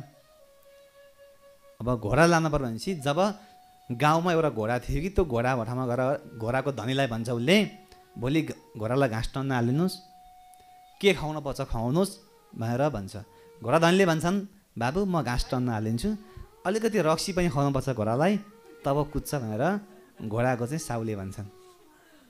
अनि भोलिपल्ट बाँसको घाँस खोले एक बदला रक्सी टक्क घोडालाई खाएर चाहिँ घोडा रेडी भयो। तब घोडामाथि ऊ जान्छ कि बाबु यो फलानु बगर जहाँ उसको दास संस्कार गरेको थियो बाबाको यो बगरमा तिमी बगर बगर हिँड्नु तिमी हिँड्दाखेरि त तिमी अगति परि नै हाल्छौ बाबु। तिमी हिँड्नै सक्दैनौ असम्भव कुरा। यदि तिमी हिँड्यौ भने तिमी माथि हुन्छौ तर घोडा माथि हुन्छौ घोडाले तल टेक्छ। यदि तिम्रो पाइलो यो बगरमा टेकियो भने तिमी अगति पर्छौ बाले भनेको थियो सुन्नुहोस् है। अब उसले के सोच्यो भन्दाखेरि घोडा एकदम स्ट्यान्ड बाई छ। त्यहाँ माथि पनि घोडा मत्तिसकेको छ। दुई राउन्ड दोहोरो कुद्छु म। दुई राउन्ड दोहोरो कुदेपछि के हुन्छ त भनेर उसले घोडा लिएर गयो। जब घोडा लिएर ऊ गइसकेपछि जब तपाईँको बाको संस्कार गरेको जुन नदी थियो त्यो नदीमा पुगिसकेपछि उसलाई एकदम अन्धकार पऱ्यो त्यहाँ। अन्धकार भइसकेपछि जब नदीमा जुन बाको दस दास संस्कार गरेको ठाउँमा घोडा पुग्यो त्यो समुद्र उसले अब पार गर्न पर्ने भयो। जब पार गर्ने बेला भइसकेपछि ऊ घोडा माथि छ अन्धकार भयो अरे अनि जब ऊ होसमा हो कि बेहोसमा हो थाहा भएन अरे अनि त्यहाँ जब चाहिँ कोसीबाट चाहिँ के आवाज आयो अरे भने नाति तिमी आयौ बाबु तिमी आयौ बाले र छोराले भने अरे मैले तिमीलाई नआऊ भनेको थियो तिमी किन आयौ? तिमी अब पार तर्दैनौ। भनेर बाले बाको र ना हजुरबाको आवाज आउँछ अरे घोडामाथि छ ऊ। त्यति भनिसकेपछि उनी सपना जस्तै बिम्जिए त्यहाँ। यसो हेर्दाखेरि नदी छ। नआऊ तिमी फर्क्यौ भन्ने आवाज आइसक्यो। एकपल्ट ट्राई गरौँ। अन्तिम भनाइ हो बाबुको भनेर जब उसले रिसल जुन घोडा थियो त्यो घोडालाई स्ट्यान्ड राखेपछि घोडालाई उसले कुदायो। कुदाइसकेपछि एक राउन्ड घोडा गयो। बाउले भनेको छ कि तेरो पाइलो त्यो बालुवामा नपरोस्। यदि त्यही घोडामाथि फाक्रा घर आउनु है तेरो पाइलो त्यहाँ टेक्ने बित्तिकै अगति परिन्छ बाले भनेको छ। जब उसले एक राउन्ड घोडा लाग्यो अर्को राउन्ड घोडा लिएर चाहिँ कोसीको छेउमै आइसकेपछि अलिकति घोडा चाहिँ दायाँ बायाँ गरेर कोसीभन्दा केही माथि पानीमा टेकेर घोडाको खुट्टो भाँस्यो त्यहाँ। खुट्टो भाँसिने बित्तिकै घोडा लड्यो। घोडा लड्ने बित्तिकै घोडाले जब चाहिँ दुइटै खुट्टा भुइँमा चावरै खुट्टा भुइँमा टेकिसकेपछि उसले जुत्ता लगाएको थियो ठ्याक्कै गरेर बालुवामा छोयो। पारिपट्टि ग्वालल्ल हाँसे। यानि कि मरेको मान्छेको आवाज आयो। हाँसिसकेपछि जब पारिपट्टि हाँसेको आवाज आउने बित्तिकै पारिपट्टि के भनेर आवाज आयो भन्दाखेरि बाबु तिमी अगति पर्यौ अब सकियो। तिम्रो जिन्दगीमा केही प्रगति हुँदैन। यो आवाज पछि भनिसकेपछि पारिपट्टिको आवाज पनि बन्द भयो। घोडा पनि उठो घोडा घाइते भयो। त्यो घोडालाई उसले बिस्तार बिस्तार के गरेर त घर लिएर आयो। घर लिएर आइसकेपछि घाइते घोडाको उपचारको बे खर्च उसले बेहोरो। अब बाउका इच्छा सबै पार भए। अब के हुन् हुन्छ त भनेर त कोसीमा गइयो। यस्तो यस्तो आवाज आयो आमा भनेर जब आमालाई उसले त्यो बाउले भनेका कुरा मलाई यो नगर्नु भनेको थियो यो नगर्नु भनेको थियो मैले सबै गर्दै गर्दै गर्दै गर्दै गएँ। जब कोसीमा पुगिसकेपछि मलाई यस्तो आवाज आयो ताकि त्यति गर्दा पनि मैले यो गरेँ आमा तर मेरो खुट्टाले मेरो जुत्ताले भुइँमा छोयो। बालुवामा। तर पारिपट्टि पितृ हाँसे। रोए। पहिला हाँसेको आवाज आयो पछि रोएको आवाज आयो। पहिला हाँसेर भने त अगति परिस् भने पछि रोएर भने तिमी सिद्धि हुँदैनौ भने। यसको अर्थ के हो? र आमालाई सोध्छन् आमा भन्छन् ठुलो गल्ती गर्यौ। तिमीले बाबु बाले भन् भनेका कुरा मान्नु पर्थ्यो तर तिमीले एउटै कुरा बाबुको पुगिसकेपछि अरू कुरामा जिन्ती गर्न हुँदैन थियो। ठुलो गल्ती गर्यौ। अब जान्ने ज्योतिषमा गएर तिमी सोध। भनेर आमा भन्छन् तब त ऊ ज्योतिषमा जाँदैन। किनकि मूर्खै छ ऊ। अब भयो सकियो। भनेपछि केही समयपछि उसलाई धेरै समस्या बाधा अवरोध आउँदै आउँदै आउँदै आउँदै गएपछि उसलाई धेरै दुःख कष्ट पीडाका समस्याहरू थपिँदै जान्छन्। अनि तब अब अन्तिम अवस्था आएपछि म बाँच्न पाए हुन्थ्यो। म बाँचेर मैले के गर्न केही गर्छु कि भन्ने सबैलाई आश हुन्छ। म बाँच्छु भने म गर्न जे पनि तयार हुन्छु जसलाई पनि हुन्छ। अन्तिम अवस्थामा पुगिसकेपछि अनि ऊ जान्छ ज्योतिषकामा। ज्योतिषकामा गएर हेराउँछ जन्मकुण्डली ज्योतिष गुरुदेवले भन्नुहुन्छ बाबु तिम्रो जन्मकुण्डलीमा पितृदोष छ। तिमीले जति ठुलो पुण्य काम गरे पनि यो दोष तिम्रो हट्दैन।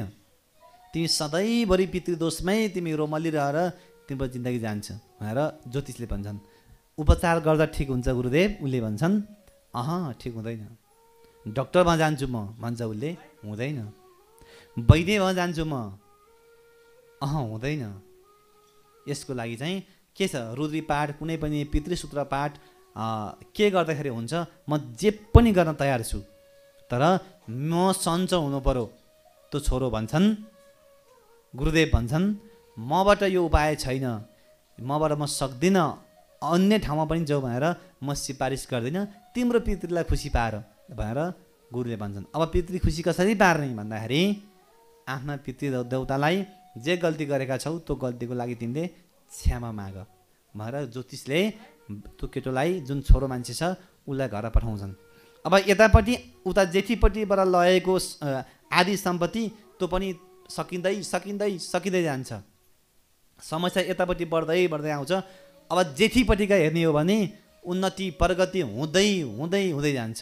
आखिर बाउ एउटा आमा दुईवटा। सुनिबक्सेला है त? उता जेठीपट्टि चाहिँ उन्नति प्रगति हुँदै जान्छ। अनि जेठ कान्छी श्रीमती र जुन त्यो छोराको आमा र छोरो एकै ठाउँ बसेर रुन्छन् त्यो डाँडा पारी हेर्छन्। हे भगवान् हिजो बाउ हुँदाखेरि यो घरमा सबै मान्छे आउँथे। बाउ हुँदाखेरि सबै कुरा यस्तो हुन्थ्यो। आज के दिन भयो? भनेर चाहिँ रुन्छन्।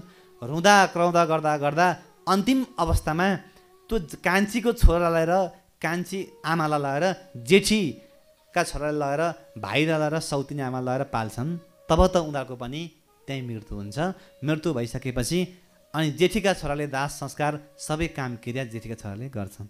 सुन्नुहोस् है भन्नुको अर्थ के हो भन्दाखेरि एकछिनको छिरिकले बाउ हुँदाखेरि धेरै रमाइलो भयो तर बाउको जिन्दगी बित्ने बित्तिकै त्यो घरमा दुःख भन्दा सुखको दिन कहिले नआइकन त्यो जिन्दगी परमुक्ति भयो।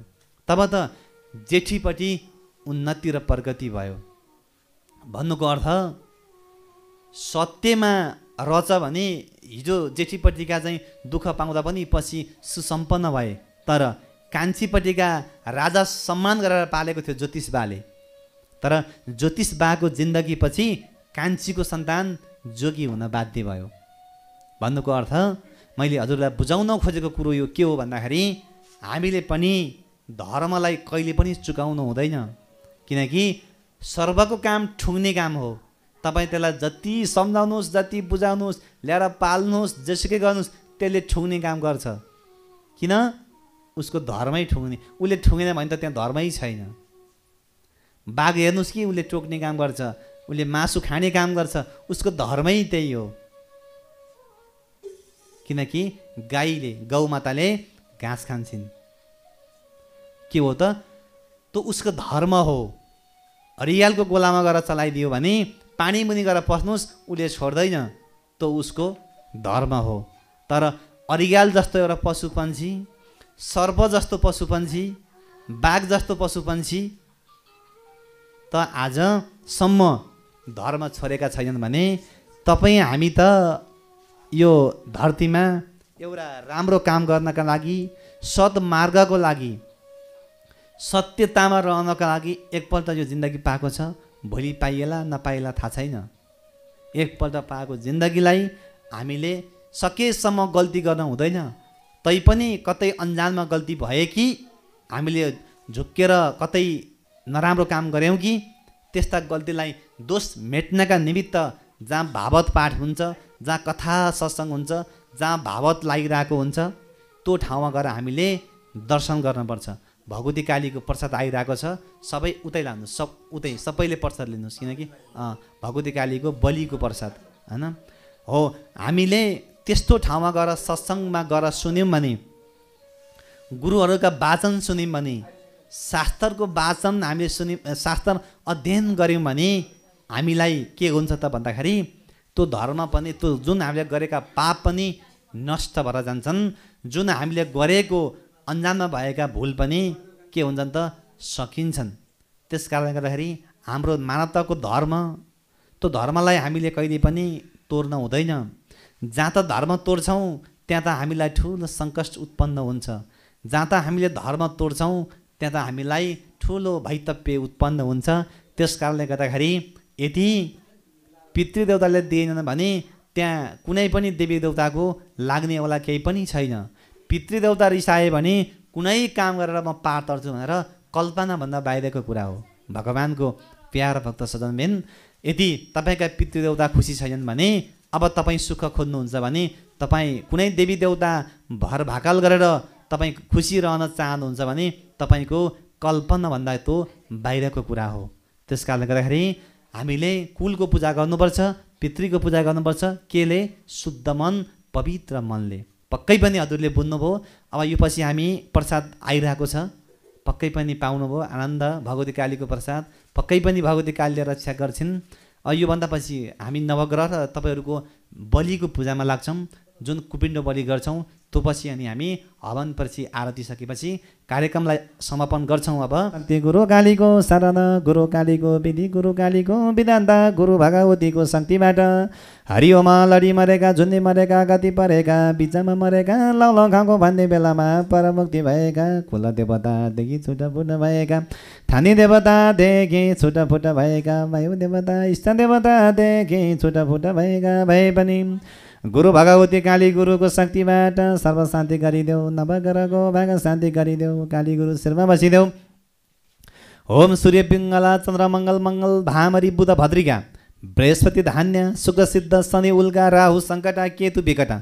सातौँ शनि आठौँ शनि बाह्रौँ शनि शनिदेव राजा रानी सर्व शान्तिका निमित्त हरि ओम महाकाली महालक्ष्मी महासरस्वती महाभगवती गुरु कालीकै शक्ति गुरु कालीकै शरण एक मन एक चित्त एक ध्यानको बाटोबाट सर्व शान्तिका निमित्त ओम शान्ति ओम शान्ति ओम शान्ति ओम। जलेर विष्णु थालेर विष्णु बरबर विष्णु महेश्वर शिव हरिचन्द्र सूर्य। राम लक्ष्मण सरसित हनुमान बाघा गुरु नील गुरु कण्ठ गुरु दुध गुरु सत्यताको बाटोमा सर्व शान्तिका निमित्त नवग्रह सर्व शान्ति ओम सर्व शान्ति नवग्रह। टाउकामा नौवटा सुन्नुहोस्। आफ्नो नाम थर गोत्र सपरिवारमा एक्काइस कुल पारतरण रोकिएका गति परेका मङ्गल ग्रह अरिष्ट ग्रह सर्वशान्ति पितृ खर्काष्ट ग्रह पनि सर्वशान्ति। कुल देवता थान देवता वायु देवता इष्ट देवता सपरिवार। सबैको नाम सम्झिनुहोस्। हरि ओम स्वदेश गई यात्रा छोराछोरी। विदेश यात्रा सपुत्र सपुत्री। घर गिरामा सफ सफलताको कामना दाजुभाइ वंशमा सफलताको कामना नवग्रहको पूजा। हरि ओम काली गुरुको सत्य काली गुरुको शरण काली गुरुको विधि विधान्त सर्वशान्तिका निमित्त मेरो गुरु भगवती काली नवग्रह। ओम शान्ति ओम शान्ति ओम शान्ति ओम शान्ति ओम शान्ति ओम गुरुको सत्य गुरुको शरण गुरुको विधि गुरुको विधान्त गुरु एक मन एक चित्त एक ध्यानको बाटो सर्व शान्ति गुरु भगवती काली गुरु सर्व शान्तिका निमित्त गुरु कालीको शक्ति गुरु कालीको शरण गुरु कालीको विधि गुरु कालीको विधान्त ल त्यहाँ कुपिण्ड छ सबैले कुपिण्डमा हेर्नु त हरि ओम काली गुरुको सत्य गुरुको शरण गुरुको विधि गुरुको विधान्त सत्य काली गुरु भगवतीको शक्तिबाट सर्व शान्ति होस् ल तयारी गुरुको सत्य गुरुको शरण गुरुको विधि गुरुको विधान्त जलेर विष्णु थालेर विष्णु ब्रह्मा र विष्णु महेश्वर शिव र हरि चल गुरु चल खेल गुरु खेल आकाश पतल जल र थल पूर्व र पश्चिम उत्तर दक्षिण चारै दिशा टेकुना चौधै भुवनको बन्धनलाई सर्व शान्ति आकाश काली पत्तल काली जल काली थल काली हरि ओम पूर्व पश्चिम उत्तर दक्षिण चारै दिशा टेकुना चौधै भुवनको बन्धन खुल्लामा खुल्ला काली गुरुको यथा यज्ञ शक्तिबाट सर्व शान्तिका निमित्त हरि ओम काली गुरु भगवतीलाई यथा यज्ञ नमन। गर्दै काली गुरुको शरणमा पर्दै ओम नमो भगवती वासुदेवया। गुरुको सत्य गुरुको शरण। सरस्वती गुरु भगवती शनि राहु। ल हरि ओम। जलको जलबाट थलको थलबाट आकाशको आकाशबाट। गुरुको सत्य गुरुको शरण गुरुको विधिको विधान्त जले विष्णु थले विष्णु ब्रह्म विष्णु महेश्वर शिव हरि ओम नमो भगवती वासुदेवया। गुरु जले विष्णु थले विष्णु द्वारपाल समस्त तेत्तिस कोटी देवी देवताको यथा यज्ञ शक्तिबाट मनको इच्छा आकाङ्क्षा। पुरा गर्नका निमित्त गुरु भगवती कालीलाई गुरु मानेर हाम्रो इच्छा आकाङ्क्षा पुरा गर्नका निमित्त छत्तिस काली गुरु भगवतीको सय शक्तिबाट कार्य पुनः सिद्धि होस्। ओम नमो भगवती वासुदेवया। जलेर थाले पूर्व र पश्चिम उत्तर दक्षिण चलो है गुरु चलो खेलो है गुरु खेलो। हरि ओम सर्व शान्तिका निमित्त महाकाली महालक्ष्मी सरस्वती गुरु भगवती सर्व शान्ति ओम काली महाकाली महालक्ष्मी महासरस्वती गुरु भगवती गुरुको शान्ति गुरुको शरण गुरुको विधि गुरुको विधान्त सर्व शान्ति आकाश काली पत्तल काली जल काली थल काली रक्त काली बिजुवा काली चलो चलो गुरु चलो गुरु चलो। समस्तको कल्याण होस् समस्तको जय होस् समस्त भक्तजन्म सुख शान्ति समृद्धिका निमित्त। उन्नति प्रगतिको निमित्त कार्यमा पुनः सफलता होस् भन्ने कामनाका साथ हे गुरु काली हजुरको शरणमा परि। ओम नमो भगवती वासुदेवाय। मूल मन्त्र जपी। गुरुको सत्यतामा परेर गुरुको शरणमा परेर सर्व शान्तिका निमित्त टपरीमा हाल्नुहोस् नौवटै देखाउँदैछ है त्यहाँ हरि ओम सर्व शान्ति गुरु हो सर्वै शान्ति गुरु हो सर्वै शान्ति गुरु सर्वै शान्ति गुरु सर्वै शान्ति गुरु काली सर्वै शान्ति।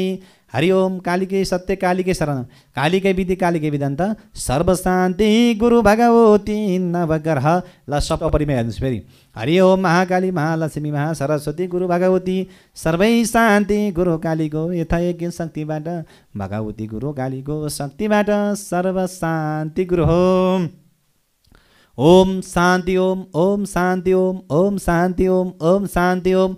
सूर्य पिङ्गला चन्द्र मङ्गल मङ्गल भामरी बुध भद्रिका बृहस्पति धान्य। शुक्र सिद्ध शनि उल्का राहु सङ्कटा गुरु मेरो केतु विकटा परम श्रद्धालु भक्त सजनबिन अब हामीले आजको कार्यक्रमलाई सकिसकेका छौँ। हजुरहरू तल गर किनकि गङ्गा आरती हुन बाँकी छ। गङ्गा आरती सबैले एकपल्ट नजर लगाएर अनि मात्रै घर गइसेला गङ्गा आरती लिइसकेपछि प्रसाद लिएर नातिकन अब कार्यक्रम सकिसकेको छ। आज जो जति आउनुभयो धेरै धेरै धन्यवाद। विश्वभरमा रहेर जयोस टिभी हेर्नुभएको छ। अनगिन्ती धन्यवाद। तपाईँका घरका कुलदेवता पितृदेवताले पनि रक्षा गरून्। कार्यमा सफलता प्राप्त होस् उन्नति प्रगति होस्। सुस्वास्थ्य दीर्घायुको कामना टकाउँदै समस्त भक्तजन समस्त आयोजक परिवारलाई र स्वदेशमा रहनुभएको विदेशमा रहनुभएको विश्वभरमा रहेर हेर्नुभएका भगवान्का प्यारा भक्त सजनलाई पनि यथा यज्ञ नमन गर्दै म लगायत सम्पूर्ण मेरो टिमलाई पनि आजको यस कार्यक्रमबाट बिदा माग्ने अनुमति मैले लिइसकेको छु। भोलि बिहान ठिक दस बजे तपाईँ सामु जयोस टिभीमा नयाँ कार्यक्रम लिएर आउने बाचाका साथ म लगायत सम्पूर्ण टिमलाई बिदा दिनुहोस् हरिओम तसर्थ सबैको जय होस्।